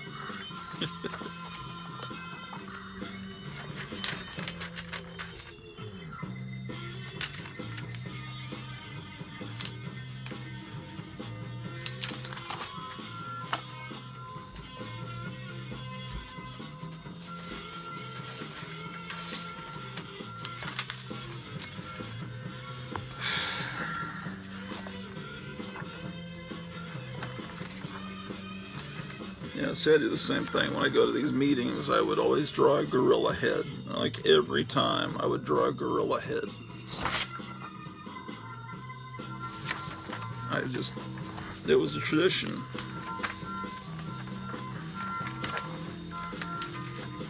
But it would look like I was taking notes, you know, and I'd look up and, yeah, it's like I'm drawing a gorilla. And then the, you know, then the, the person that's talking starts walking around. I'm like, oh shit, they're gonna think I'm drawing them, which I'm not. I'm just drawing what's in my head, which is gorillas. Always in my head. There's that artist again. Oh, I like this this artist. Very um, look at this picture of Batman. That would be a good variant cover, right? For the latest issue of Detective Comics. If they still publish that. Do they still pub Didn't DC like uh, uh, like shrink down all their titles recently to hardly anything?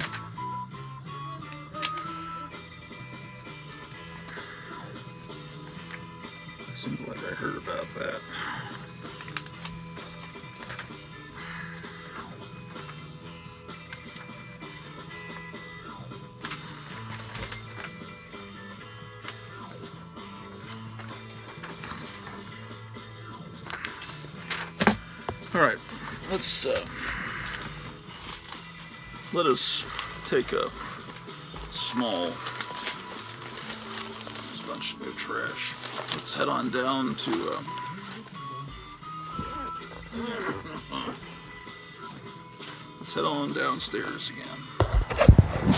Let's disconnect you from your electrical umbilical cord.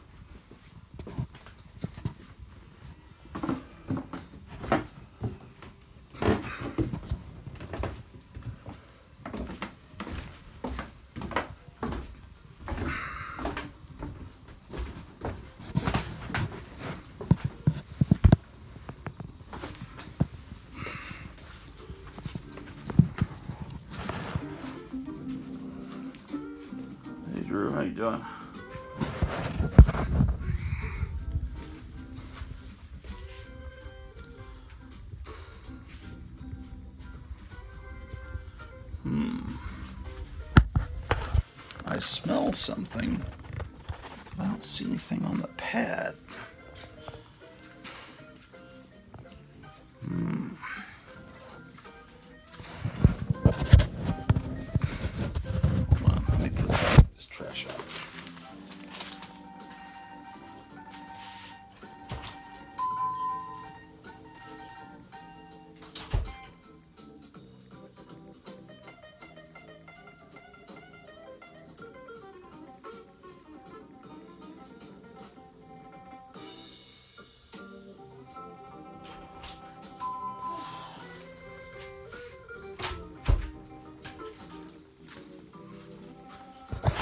Know, we're out of trash bags.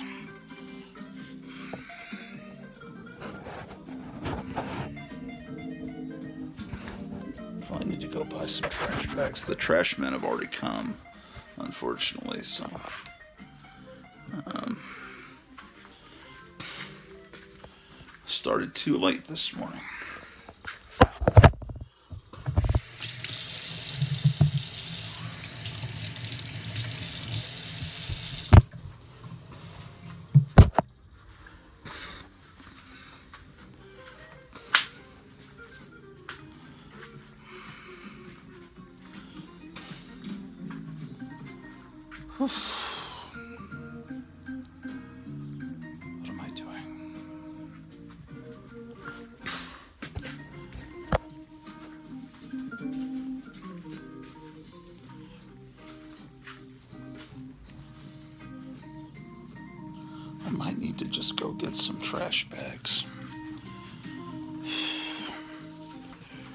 Otherwise,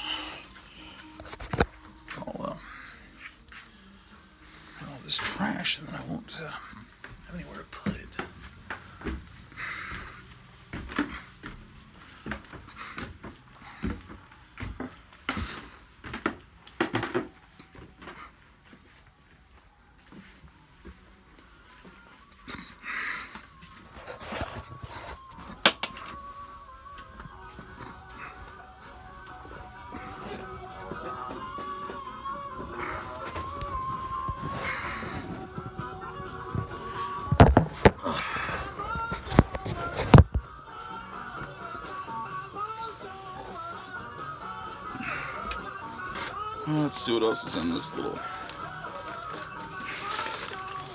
Okay, so I've emptied out a whole milk crate.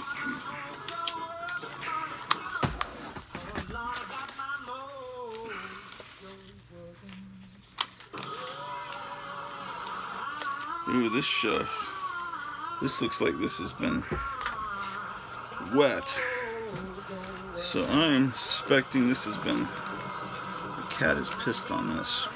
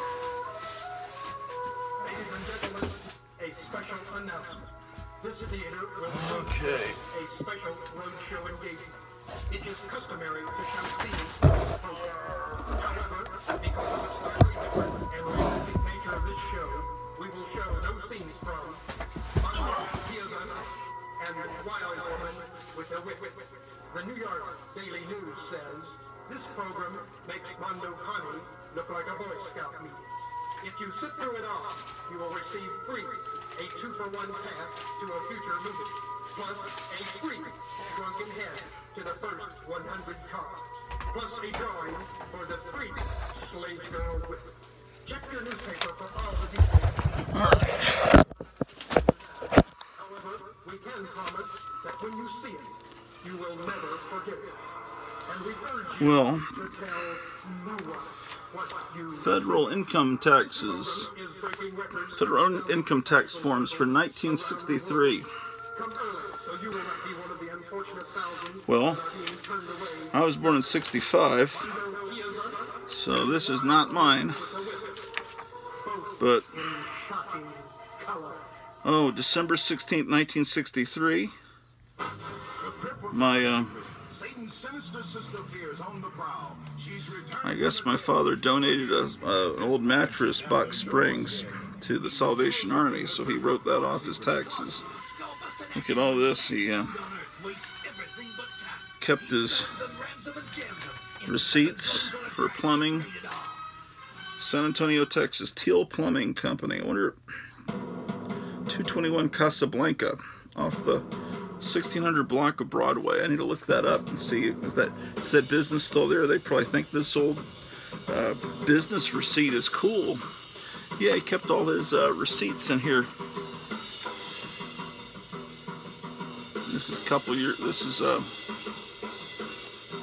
few years before I was born. Yeah, I saved this stuff. Call me crazy.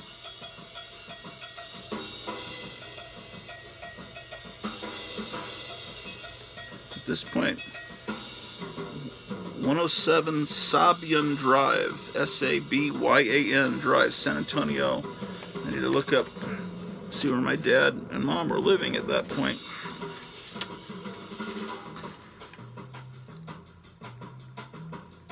And this is from, um, he must have donated some money to uh, $10, which is a lot of money then, to the Maryknoll Fathers, Maryknoll, New York, December 10th, 1962. Dear Captain Weinert, we sincerely appreciate your Christmas gift of $10. Your generosity and love and vis- are visible proof to our mission people that Christians live what our Savior came into the world to teach. Christmas is a word spoken to men who have been transformed, anointed, and redeemed by a child. The great God and Savior was born as a lowly member of the human race in the lovable weakness of babyhood, the supreme pledge of God's goodwill to men. This is the season of all our hope and joy. May the Christ child continue to shower his blessings upon you and your loved ones throughout the coming year. You and your intentions are a special place in our masses and prayers, Captain Weinert. Sincerely yours in Christ, George Haggerty, M.M. Cool. Well, I'll save my dad's 1963 Oh, we're uh, tax returns. We're still waiting on our tax money to come back. We're supposed to get almost $500, and it's taking forever. And uh, we could really use that money now. I mean, uh, damn.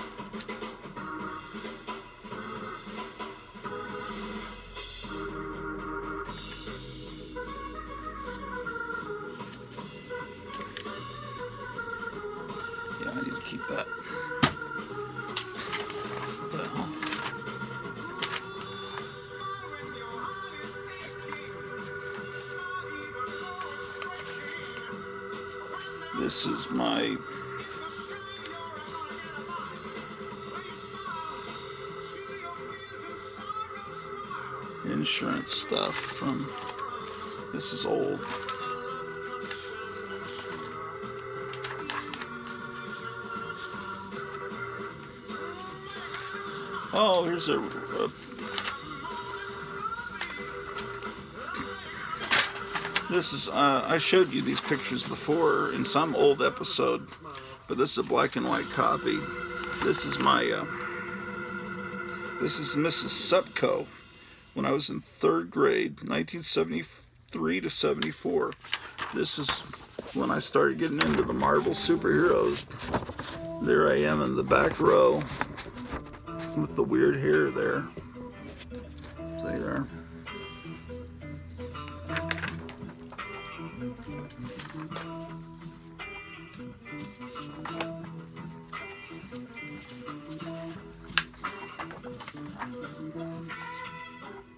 I must have made copies of these because I wanted to show uh, my students what I looked like when I was a little kid.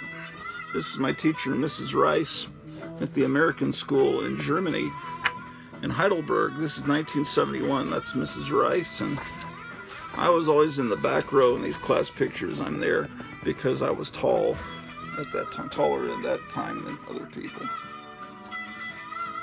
I'm, I wound up it's about six foot, but I slouch a lot. So. What else we got? Oh, here's one from uh, first grade. There I am, kind of sticking out from behind.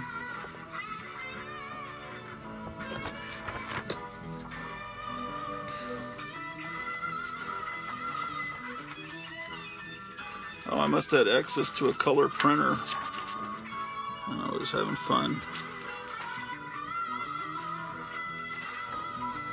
Join the GEO school activities.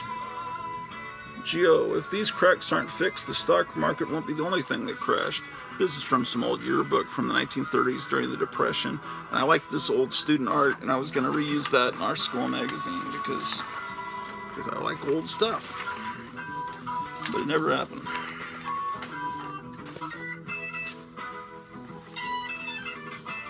Ooh, this is from high school. This is some folder from high school. Look at this shit I would draw. Yeah, see, that, back then arcades were everywhere, so I have a video game called Space Butcher. I got Spider-Man, with an arrow in his chest. There's Pac-Man.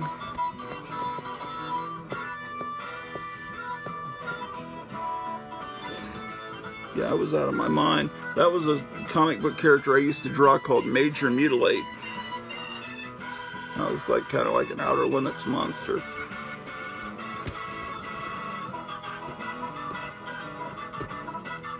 Oh, this is my American History Period 3 folder. I guess this is my idea of American history, huh? Wow. Strange.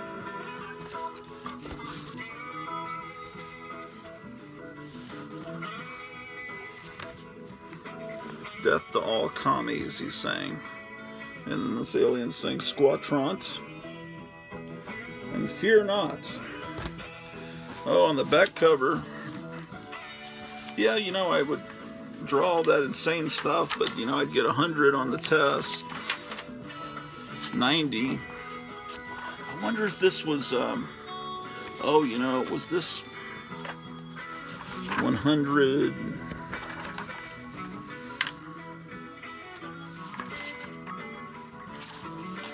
Class was this?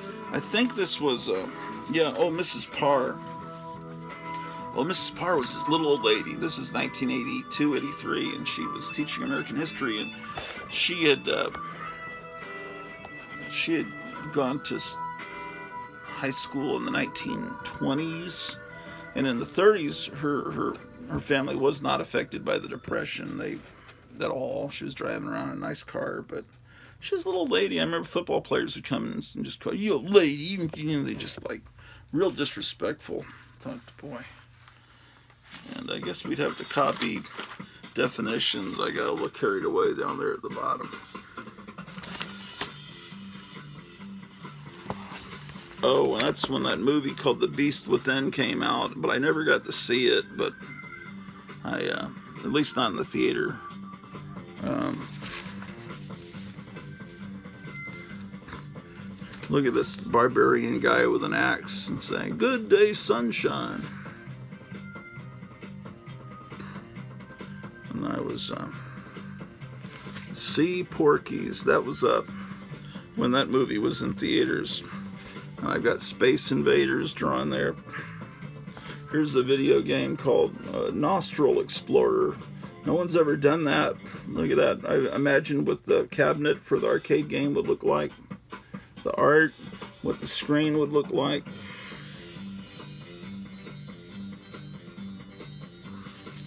Of course, I'm going to save this. Oh, look at this. For my uh, commercial art class, I drew a National Lampoon cover.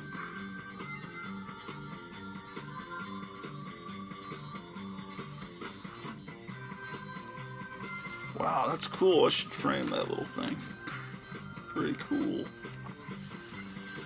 Well, you find the darndest things when you're digging through a hoard.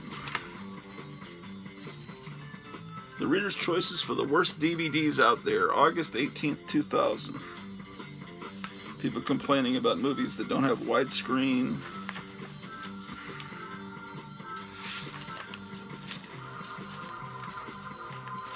I guess I don't need to save that. It's from uh, September 5th, 2000.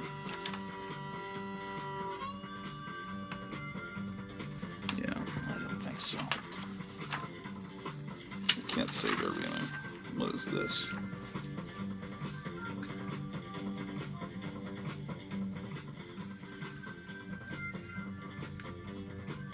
Oh, this is about my uh, father getting a medal in Vietnam.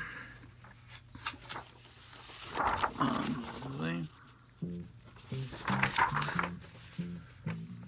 26th of May, 1966, Headquarters, United States Military Assistance Command, Vietnam. It says, um, award Army Commendation Medal with V device. Date action 9th of January 1966. Theater Republic of Vietnam. Reason for heroism in connection with military operations against a hostile force. Major Weinert distinguished himself by heroic action on 9 January 1966 while acting as an aid man on a medical evacuation mission. Although Major Weinert's primary duty did not require him to participate in this mission, he voluntarily accompanied Republic of Korea troops on a search and destroy mission. Major Weinert's complete disregard for his personal safety in the face of enemy fire during this mission, often standing knee deep in mid in, in mud and water, was inspirational to the members of the helicopter crew and to the Korean soldiers. Major Weinert was instrumental in loading 19 wounded soldiers aboard the medical evacu- evacuation helicopters and their safe removal from the battle area. Major Weinert's heroic actions were in keeping with the highest traditions of the United States Army and reflect great credit upon himself and the military service. Uh, W.B. Rosson, Major General USA Chief of Staff. So, um, 26th of May, 1966, I was a year and um, uh, about a year and a month old because I was born in April of 65. So, guess I came real close to growing up without a dad if he had not made it. That's cool. I can't even imagine. Uh, can't imagine that kind of bravery. I'd be like, oh shit. I don't know.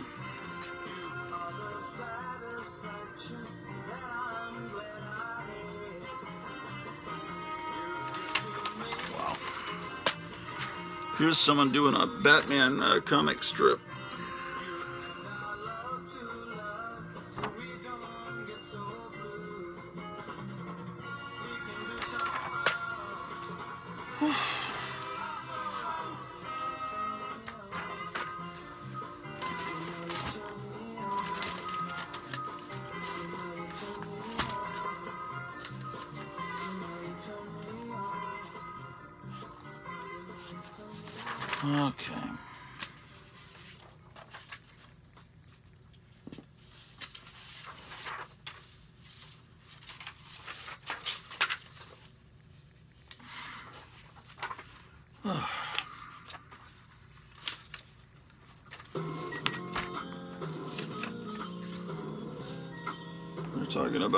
New movie called Gladiator coming out. I printed it from the internet on March 23rd, 2000.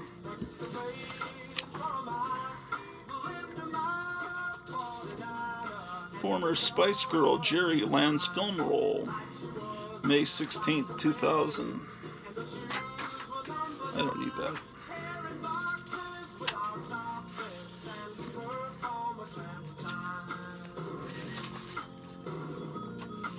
Must have been a pre production art for Gladiator, I guess.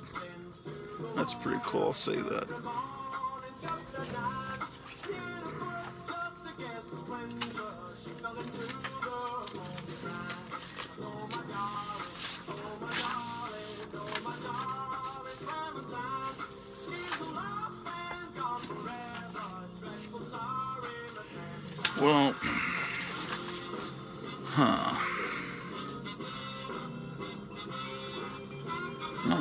Brief break here, but you can, ow, fingernail. I, uh, you can uh, stick with me if you want. I'm gonna keep going till the battery dies on this or the iPhone storage is uh, used up.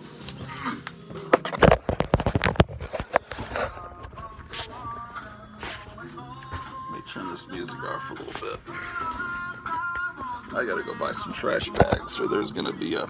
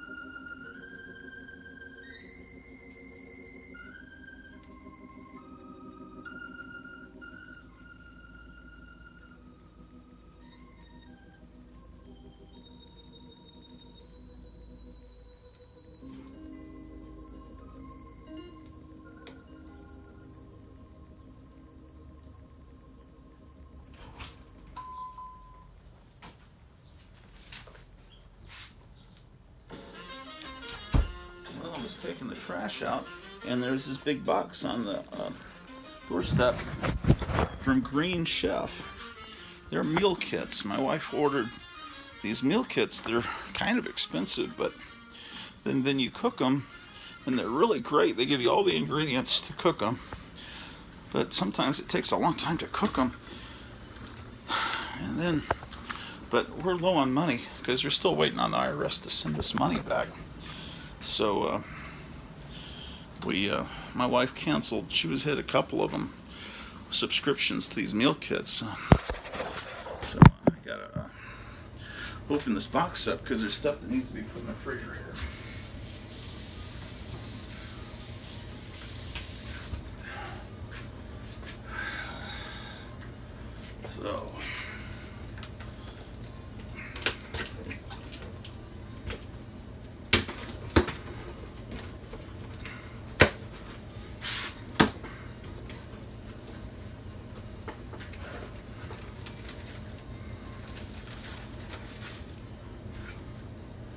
These Uh, these are what we, what's in the box: creamy chicken pot pie, buttery lemon garlic shrimp, and barbecue glazed meatloaves. I've never seen meatloaf plural before. So I'll put these back here for her. This little thing, wherever this is. Let's see what we got here. So they're in little bags.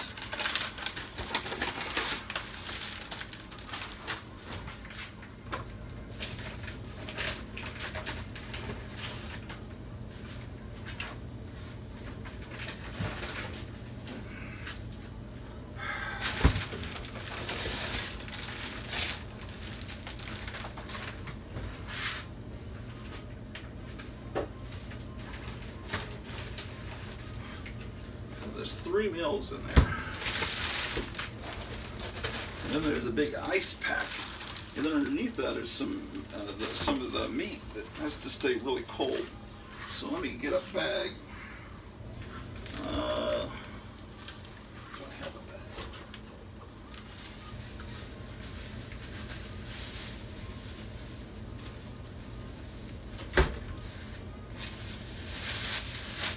This Kroger bag. I'm gonna put the. Um, this one is uh, white shrimp,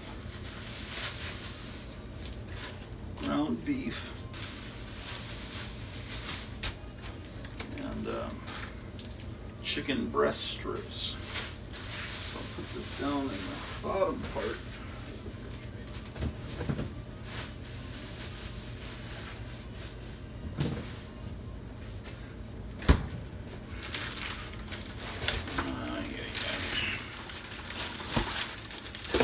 Friends are gonna go see that that theater on uh, either Saturday or Monday. And the, the, the, guy, the owner's given them permission to go in and videotape and take as many pictures as they want to, and they're gonna get us those pictures so I'll really know what it looks like upstairs. Uh, he says that the doors to the different businesses that were upstairs still have the names of the businesses, like a barber shop and everything. And uh, I think those would be cool to save.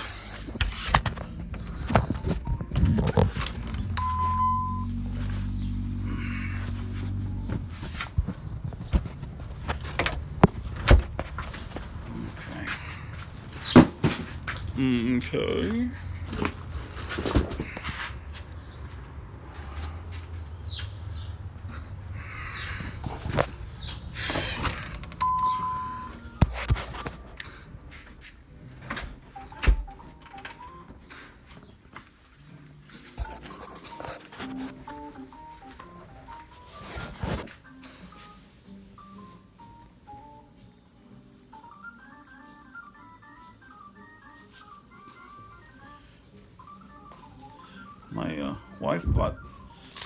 Supposed to be really good.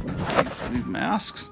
She bought one for herself and one for me. I took mine out of the package and put it on, and it had the weirdest smell. Then I look and it's made in China. And it's like, oh boy, what is that?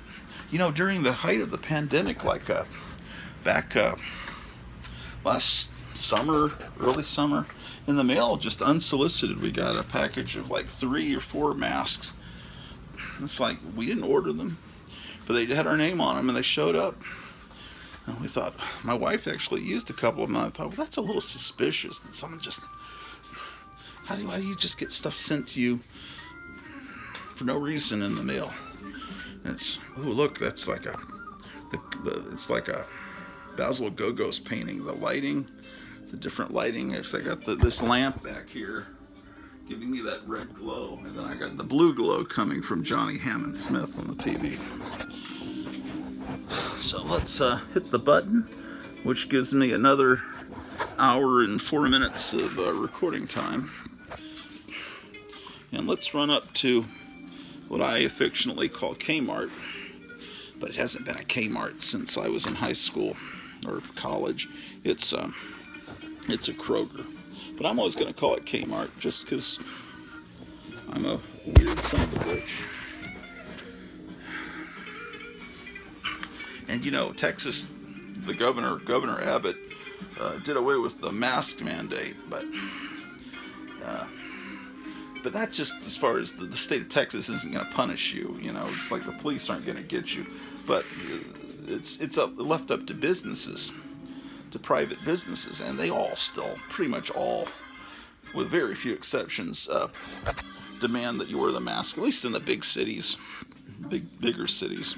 I understand that little towns, truck stops, whatever, nobody cares and nobody wears them, but.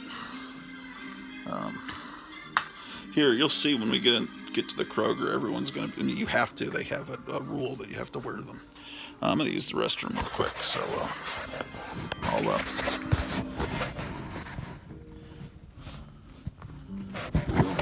you entertain the people while I go to the restroom? Would you do that, please? Because um, I'm not taking them to the restroom.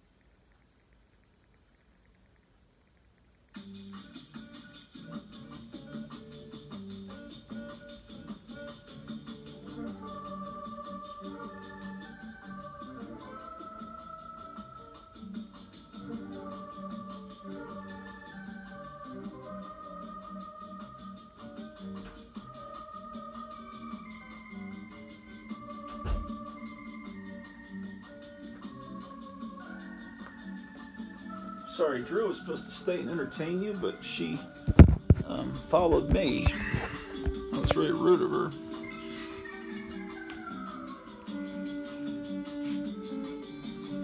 Oh, Xavier Cugat is what this is.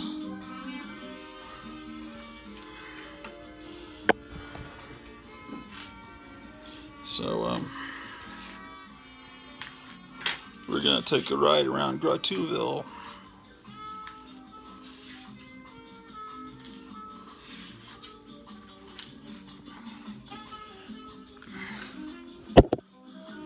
Because a day without trash bags is like a day without sunshine. We all love trash bags, and we're going to purchase some. We also need to get some cat food while we're uh, there.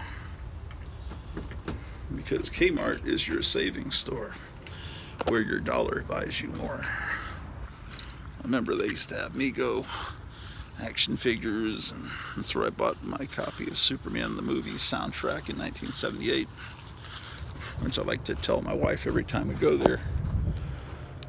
Course, that was the year she was born. She was born in 1978. There's a 13 year difference between us. So, let's um, get in the Grottu Mobile, which we purchased for $4,000 from a nice man that had taken had put a brand, almost brand new engine into it.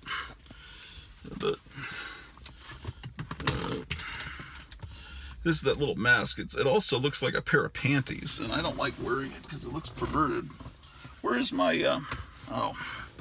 So I'll just wear this this little mask. It looks a little less uh, the other one I, I wish I wish this show was in smell-o-vision so you really could tell could convey to you what it uh, smells like. Horrid. Only just 15.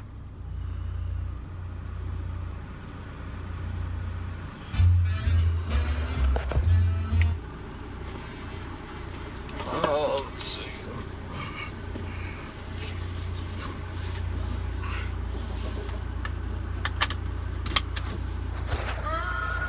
Off to get trash bags.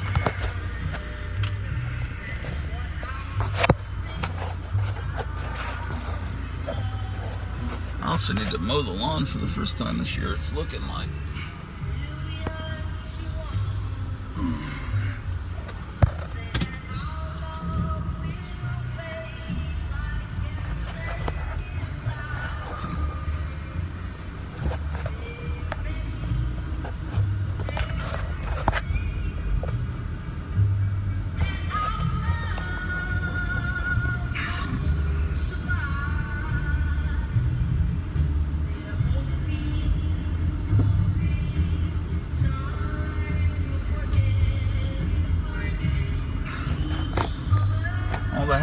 This side of the street were built in the 50s, and all the houses on this to the right were built in 1964.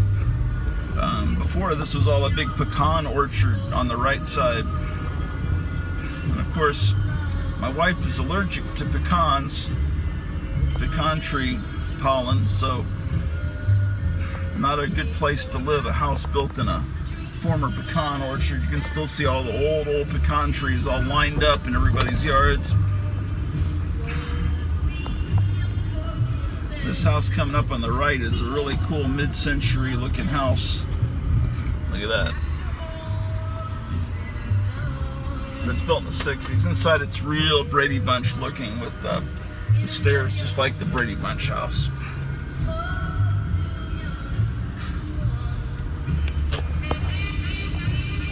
See that mechanic shop there, that old 1950s gas station there? This is oil change mechanic. That guy is the, the owner of that is the guy that sold me the car I'm in. If I hadn't, uh, my uh, mother-in-law lent us the $4,000 to buy it because I had no car to get to work a couple years ago. And then last year we got hit by hail that damaged the car and they, the insurance just said, well, it's this is really totals the car. So they gave me a check for four or maybe five thousand dollars, and then we just paid my wife's mom back, and then we weren't debt to her anymore, and that was a great thing. I just have some dents in my car, and I guess my title is now technically a salvage title. But you know, this is just the car temporary, and it's it has had no problems. Uh, knock on wood. There's the old Kmart. They put a fake front on it and turned it into a Kroger.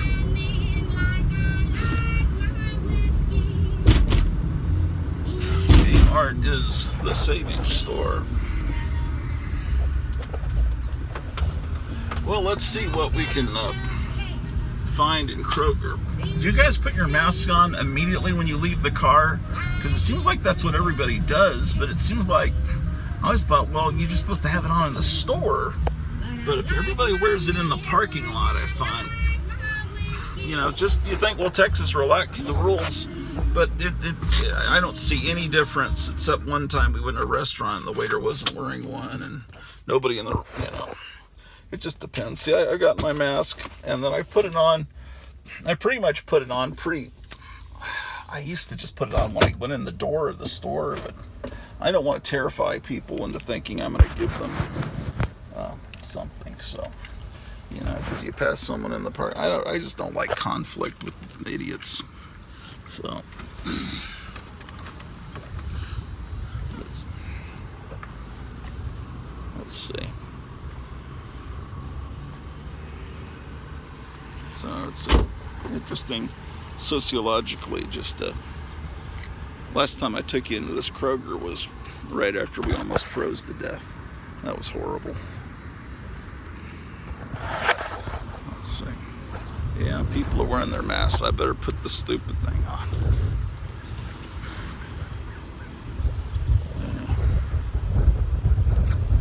Oh, this wind is making it very difficult.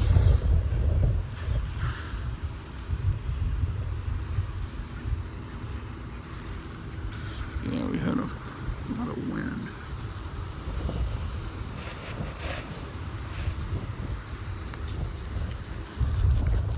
All right. Only time in your life it's going to be okay to go into a bank with a mask on. So appreciate these. Uh, that's the only cool thing about the pandemic, I guess.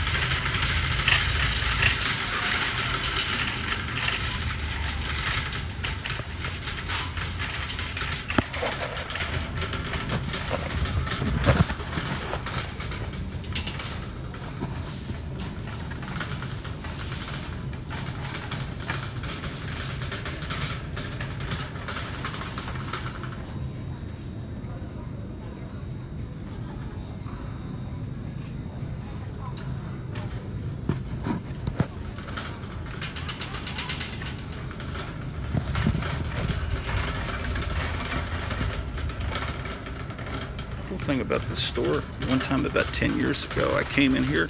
When I walked in the front door, real loud on the loudspeaker, they were playing the Munsters theme.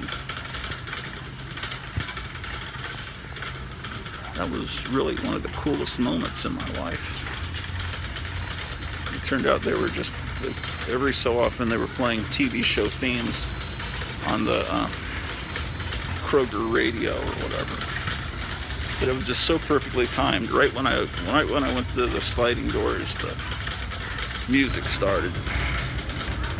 Thought that's gonna that should be my entrance music everywhere. Okay.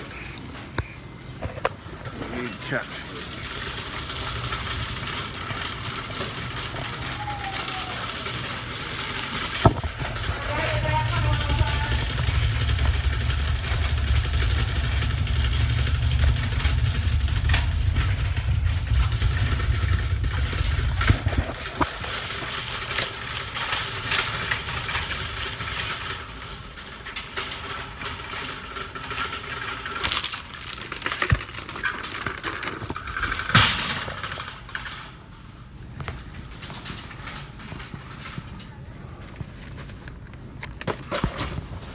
Okay, the other thing I need is trash bags.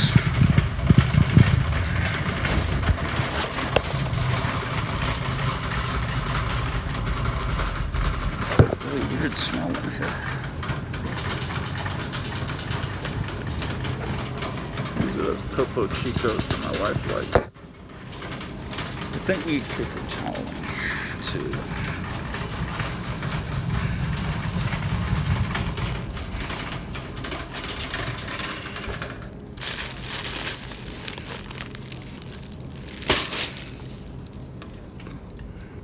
Revert it down, twenty-one oh five, please revert it down, twenty-one oh five. Is that a better deal? Please. Okay.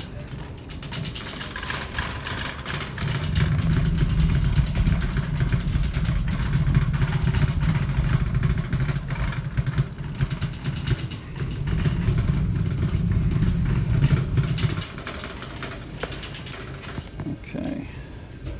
80 bags for $7.99 or you get 120 bags for $9.99. I think that's the way to go. Just bang my finger.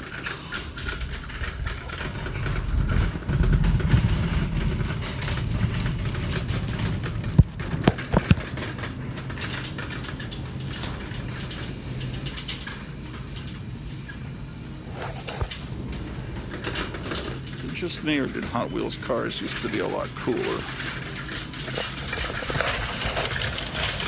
I look like I'm doctor going into surgery. Paging Dr. Dracula.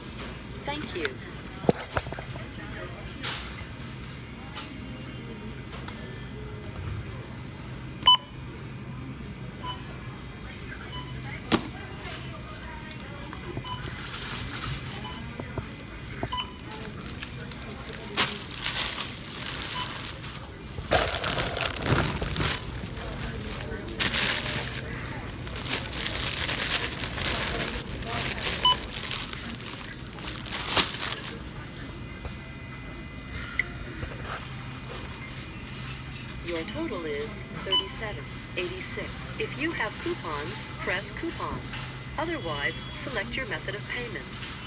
Insert coins before bills.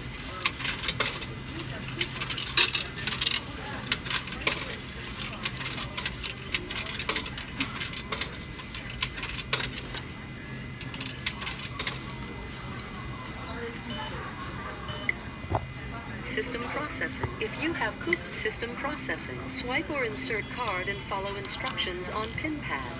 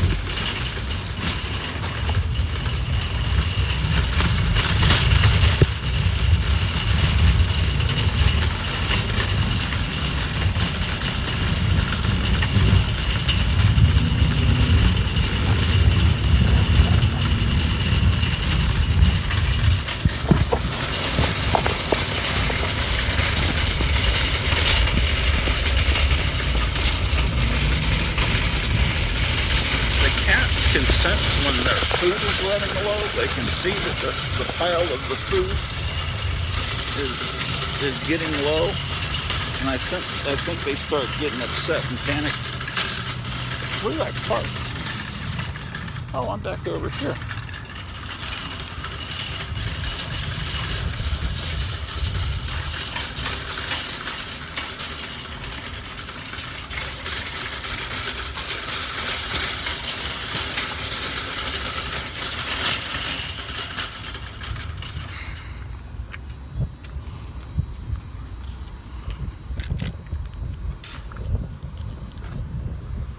See, why am I wearing the mask right now is the question. If I take it off, people think I'm an asshole. Of course, I am an asshole. Oh, shit. Oh, Joe, what up, what the? Oh, goddamn.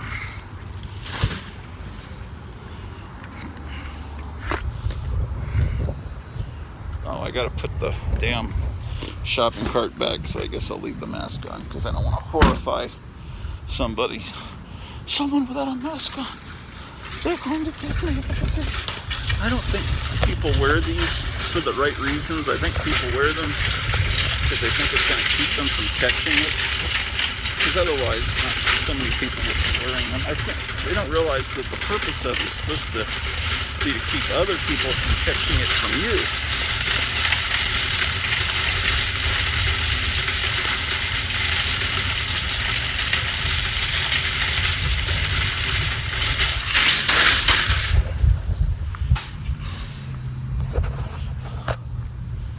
All right.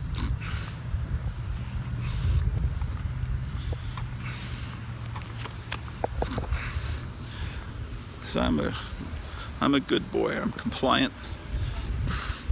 I um, do what Big Brother says. I wear my mask. God damn it! It makes me so proud to be an American when I wear the mask. Oh my God! It's my patriotic duty. All right, well, I saved the lives of countless people by wearing that mask. That very proud of myself. Look at that. That is not a job I would like to have. Look at that guy. He has to go up on that crane to change light bulbs. Yikes. That's one thing about having a movie theater. I have to get up on a ladder to change the marquee and then the lights above the stage.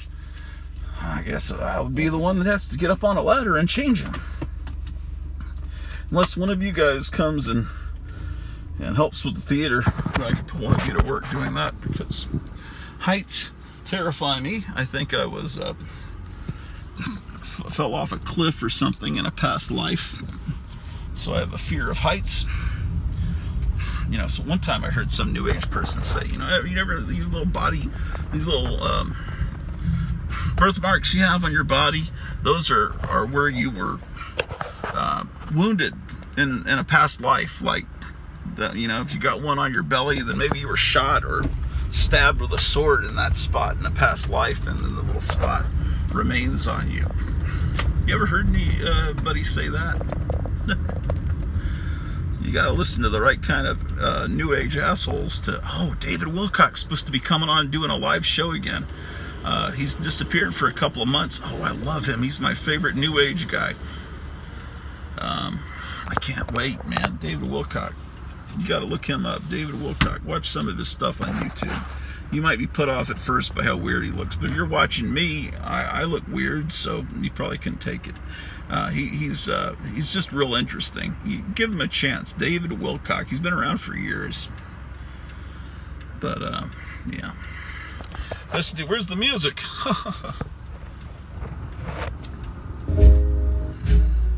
it's on the radio. 47 at KLAF.com.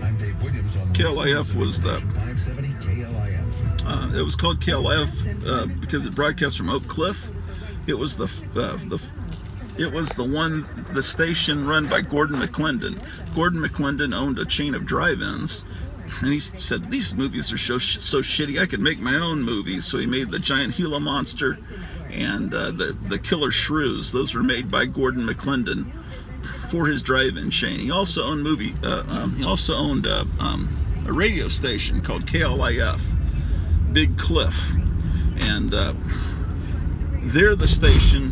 uh, You know, when you think of classic top 40 radio from the 60s, they invented it with the jingles, with the singers, and the, you know, they still do on some oldie stations, you know, where it's like KLIF 1190, you know, and then, and then the DJs, the way they sound and everything, everyone copied KLIF in Dallas.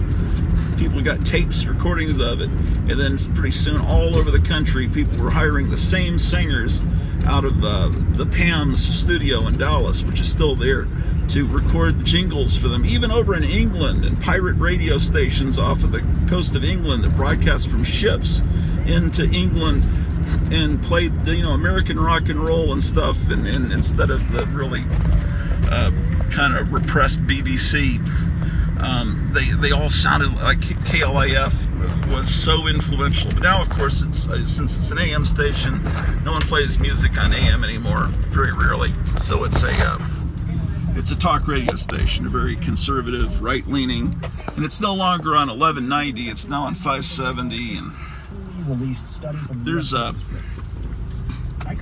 Uh, it may shock you, but I listen to conservative talk radio. Isn't that shocking? You would think that I listen to that because Grottu Orloff probably comes across as such a uh, bleeding heart liberal to you on your. Uh, yeah. All right, well we're back in um, back home. Now it says Walgreens. My medicine is ready for pickup. I'll tell you what, I got to go back to Walgreens to get my medicine.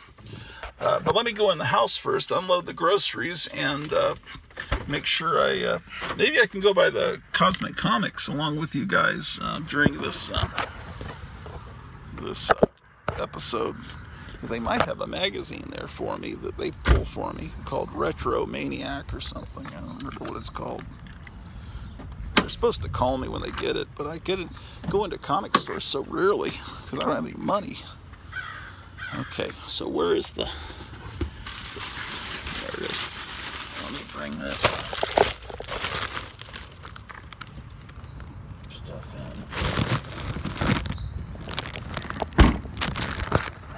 in. Dog's been peeing a lot more now that she's on these steroids, so I need more paper towels.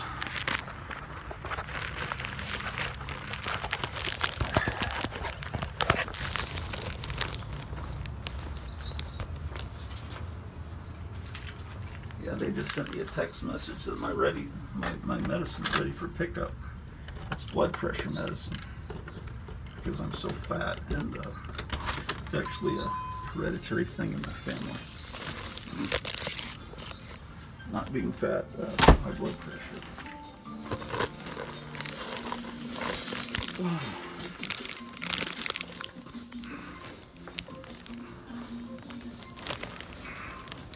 It's turning out to be a very busy day here in Grottuville.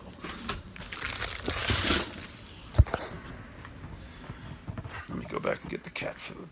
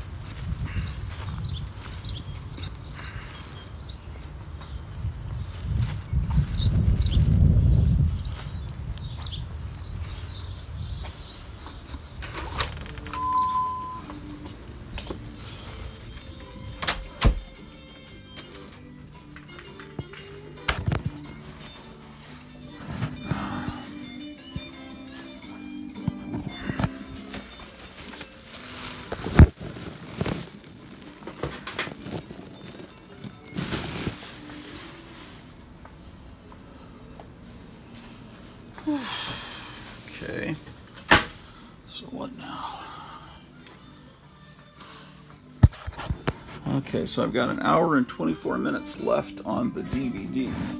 And I know that YouTube will only go for about an hour and four minutes before it shuts off and says, Video paused, are you still watching? So I think what I'll do is hit the record button twice, and that'll make the recording stop in exactly one hour. And then it will the recording will stop before the music stops and then I'll probably have a song, you know, cut off in the middle, but I'll just cut to an emergency broadcasting signal and make it sound like it was intentional, and then I'll start that song at the beginning over on the next disc. So what I'll do is I hit I hit this. Okay, so in one hour this will shut off. Because if I go to Cosmic Comics, I definitely it's gonna take me more than an hour to get home. So let's um, let's go take off. And then when I get back, I've got to put uh, some drops in my dog's ears her little infections. Then we take her back to the vet on Monday. And she looks like she's clearing up and everything's going well for her, so that's cool.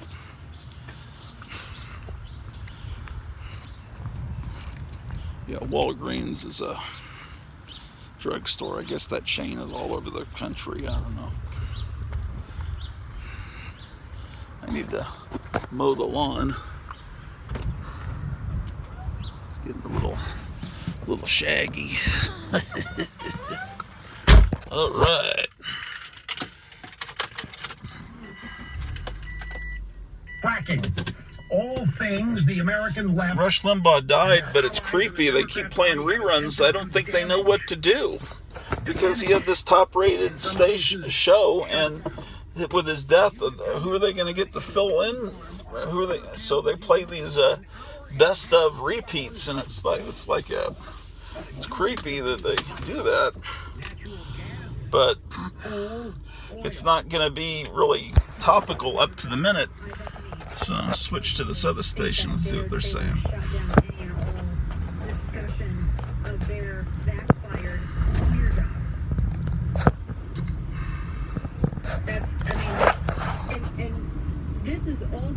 This house is cool. It has a basement there. with social media.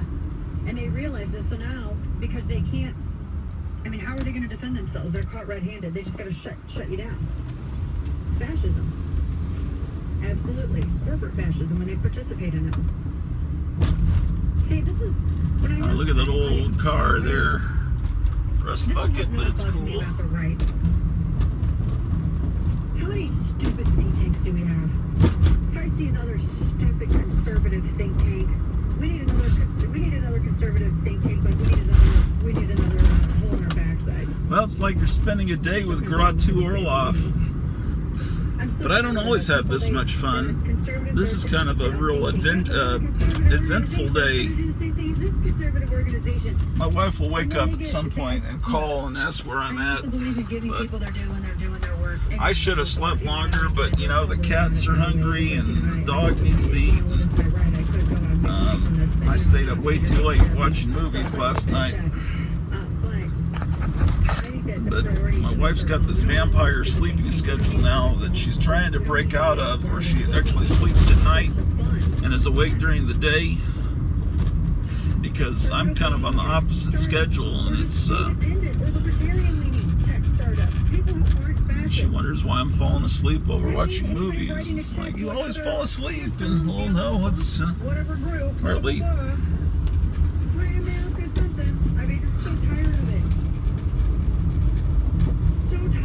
Yeah, it's a beautiful spring day. Not very sunny though. Wonder if it's gonna rain.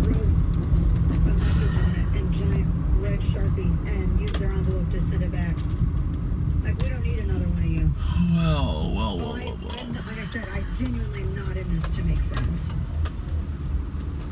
We need funding of. That's what we need. Or like in my area, we have a conservative group that's just getting blasted because they have been trying to implement CRT. Well, this lady's boring. Let's see if there's some music. Oh, Graphic Man just commented. I couldn't see what he was saying.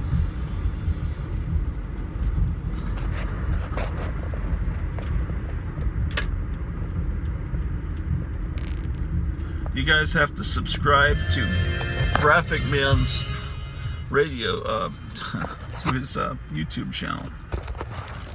It's really amazingly polished, uh, well done, professional comic book stuff. I mean, it's great. You got to subscribe to Graphic Man. It's great.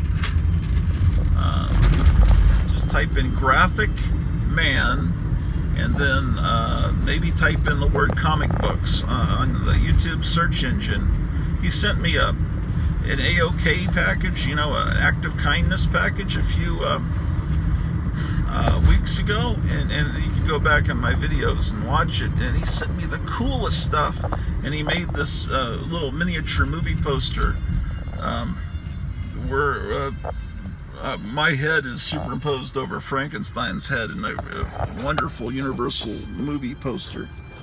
Um, he's just the nicest guy, and he's really cool. And he has a really great home tour that he put up um, somewhat recently. Oh yeah, um, Spinner Rack Studios had a commercial for a home tour that's upcoming, and oh, have I missed it? I need to go check his page because um, I don't know if it's been put up yet. Um,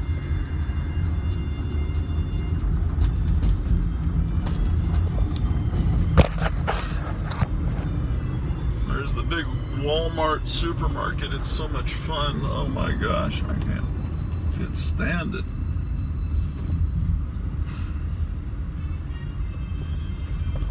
It's such a beautiful town. Oh my gosh. Oh, we ought to go look at the um, this cool plant store uh, while we're out. Oh, look at this idiot in a little clown car. You see that? I wouldn't get on the highway in that. Are you freaking kid? Every time I see some liberal driving that little smart car around, I I just can't even believe it. The, the, the world, the way it exists today. You know the weird thing about 1950s houses is the cars were made like boats back then, and the garages are always these. A lot of times these one one car garage, and I don't know how they fit those Cadillacs and those big Buicks and things in those garages and shut the door.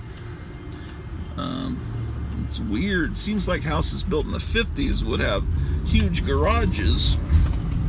Well, we're here at Walgreens. It's just a great place.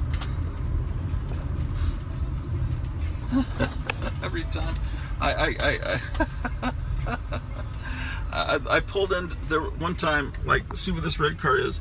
There was a I pulled in just like I'm doing now, and there was a Coke on the ground. Oh, this is curbside pickup. I can't park here. Shit. I thought it was a problem. Anyway, I, I pulled in there a few years ago, and there was a, just a, someone had put a McDonald's Coke, you know, down there in a little cup, and I, I uh, accidentally rolled right over the Coke, right, and it, it exploded when my tire went over it, and where that red car was was a white car. a white car, yeah.